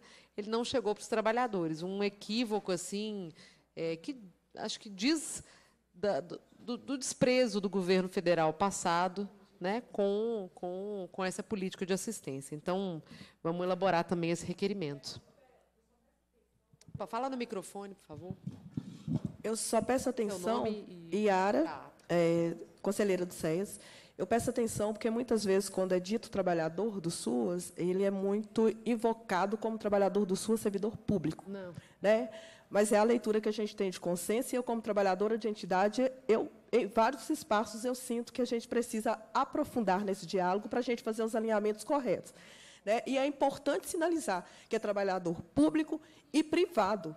Né? Não custa colocar um termo para poder esclarecer esse ponto para as pessoas que ainda não alcançam a importância do trabalhador SUAS, que é aquele trabalhador que está na entidade, que, assim como servidor público, na pandemia também ficou na sua função, no exercício do seu trabalho, da mesma forma. Né? Eu sei porque eu participei das audiências em Belo Horizonte, e várias vezes nós, enquanto entidade, tivemos que fazer essa defesa para poder ser considerados e incluídos na lista. Quem fez a lista fomos nós separados da lista geral para vocês terem uma noção, porque o trabalhador de entidade não estava sendo considerado. Ah. Então, público e privado. E todo lugar que eu tiver, eu vou deixar isso bem claro, mesmo que, já, que a maioria acho que já esteja esclarecido. Não, realmente, era importantíssimo você trazer isso, porque, infelizmente, grande parte hoje do SUAS ele é terceirizado, né? ele é conveniado. Então, é importante que a gente coloque trabalhadores públicos ou privados que prestam serviço para o SUAS.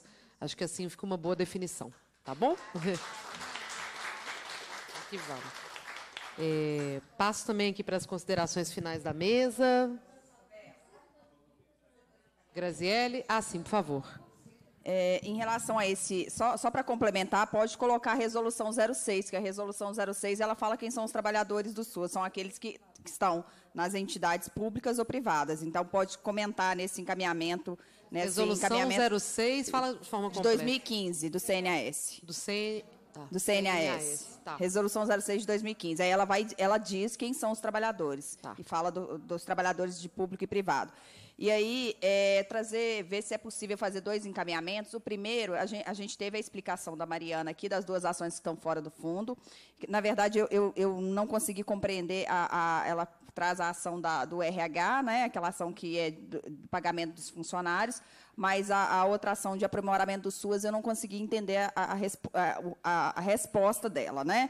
Mas, de toda forma, ela já trouxe esse apontamento e talvez trazer um encaminhamento para que essas ações vão para o fundo de assistência social, realmente que o Estado evite esforços para que essas ações é, sejam colocadas no fundo e que sejam passem pelo controle social. É,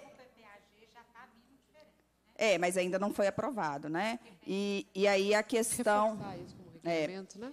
É, e aí o outro encaminhamento, que é um pleito que a gente tem pedido, é a presença do Ministério Público nas reuniões do CEAS. Né? Talvez vocês, enquanto, é, enquanto instituição, também pode pleitear, assim, reforçar a importância dessa fiscalização do Ministério Público lá na, nas reuniões do CEAS. Né? A gente tem pedido, inclusive foi convidado aqui para essa audiência. Né? Então, talvez você, vocês possam se juntar a nós nesse pedido para que o Ministério Público esteja presente nas nossas plenárias. Então, outros dois requerimentos que a gente está fazendo é que as ações. A gente vai reforçar o que, na verdade, já foi trazido aqui como uma possibilidade. Né? Deixa eu tentar achar aqui o número das ações. Tá. Acho que as ações 20, 81 e 42, 26 sejam incluídas no próximo PPAG. Não é isso?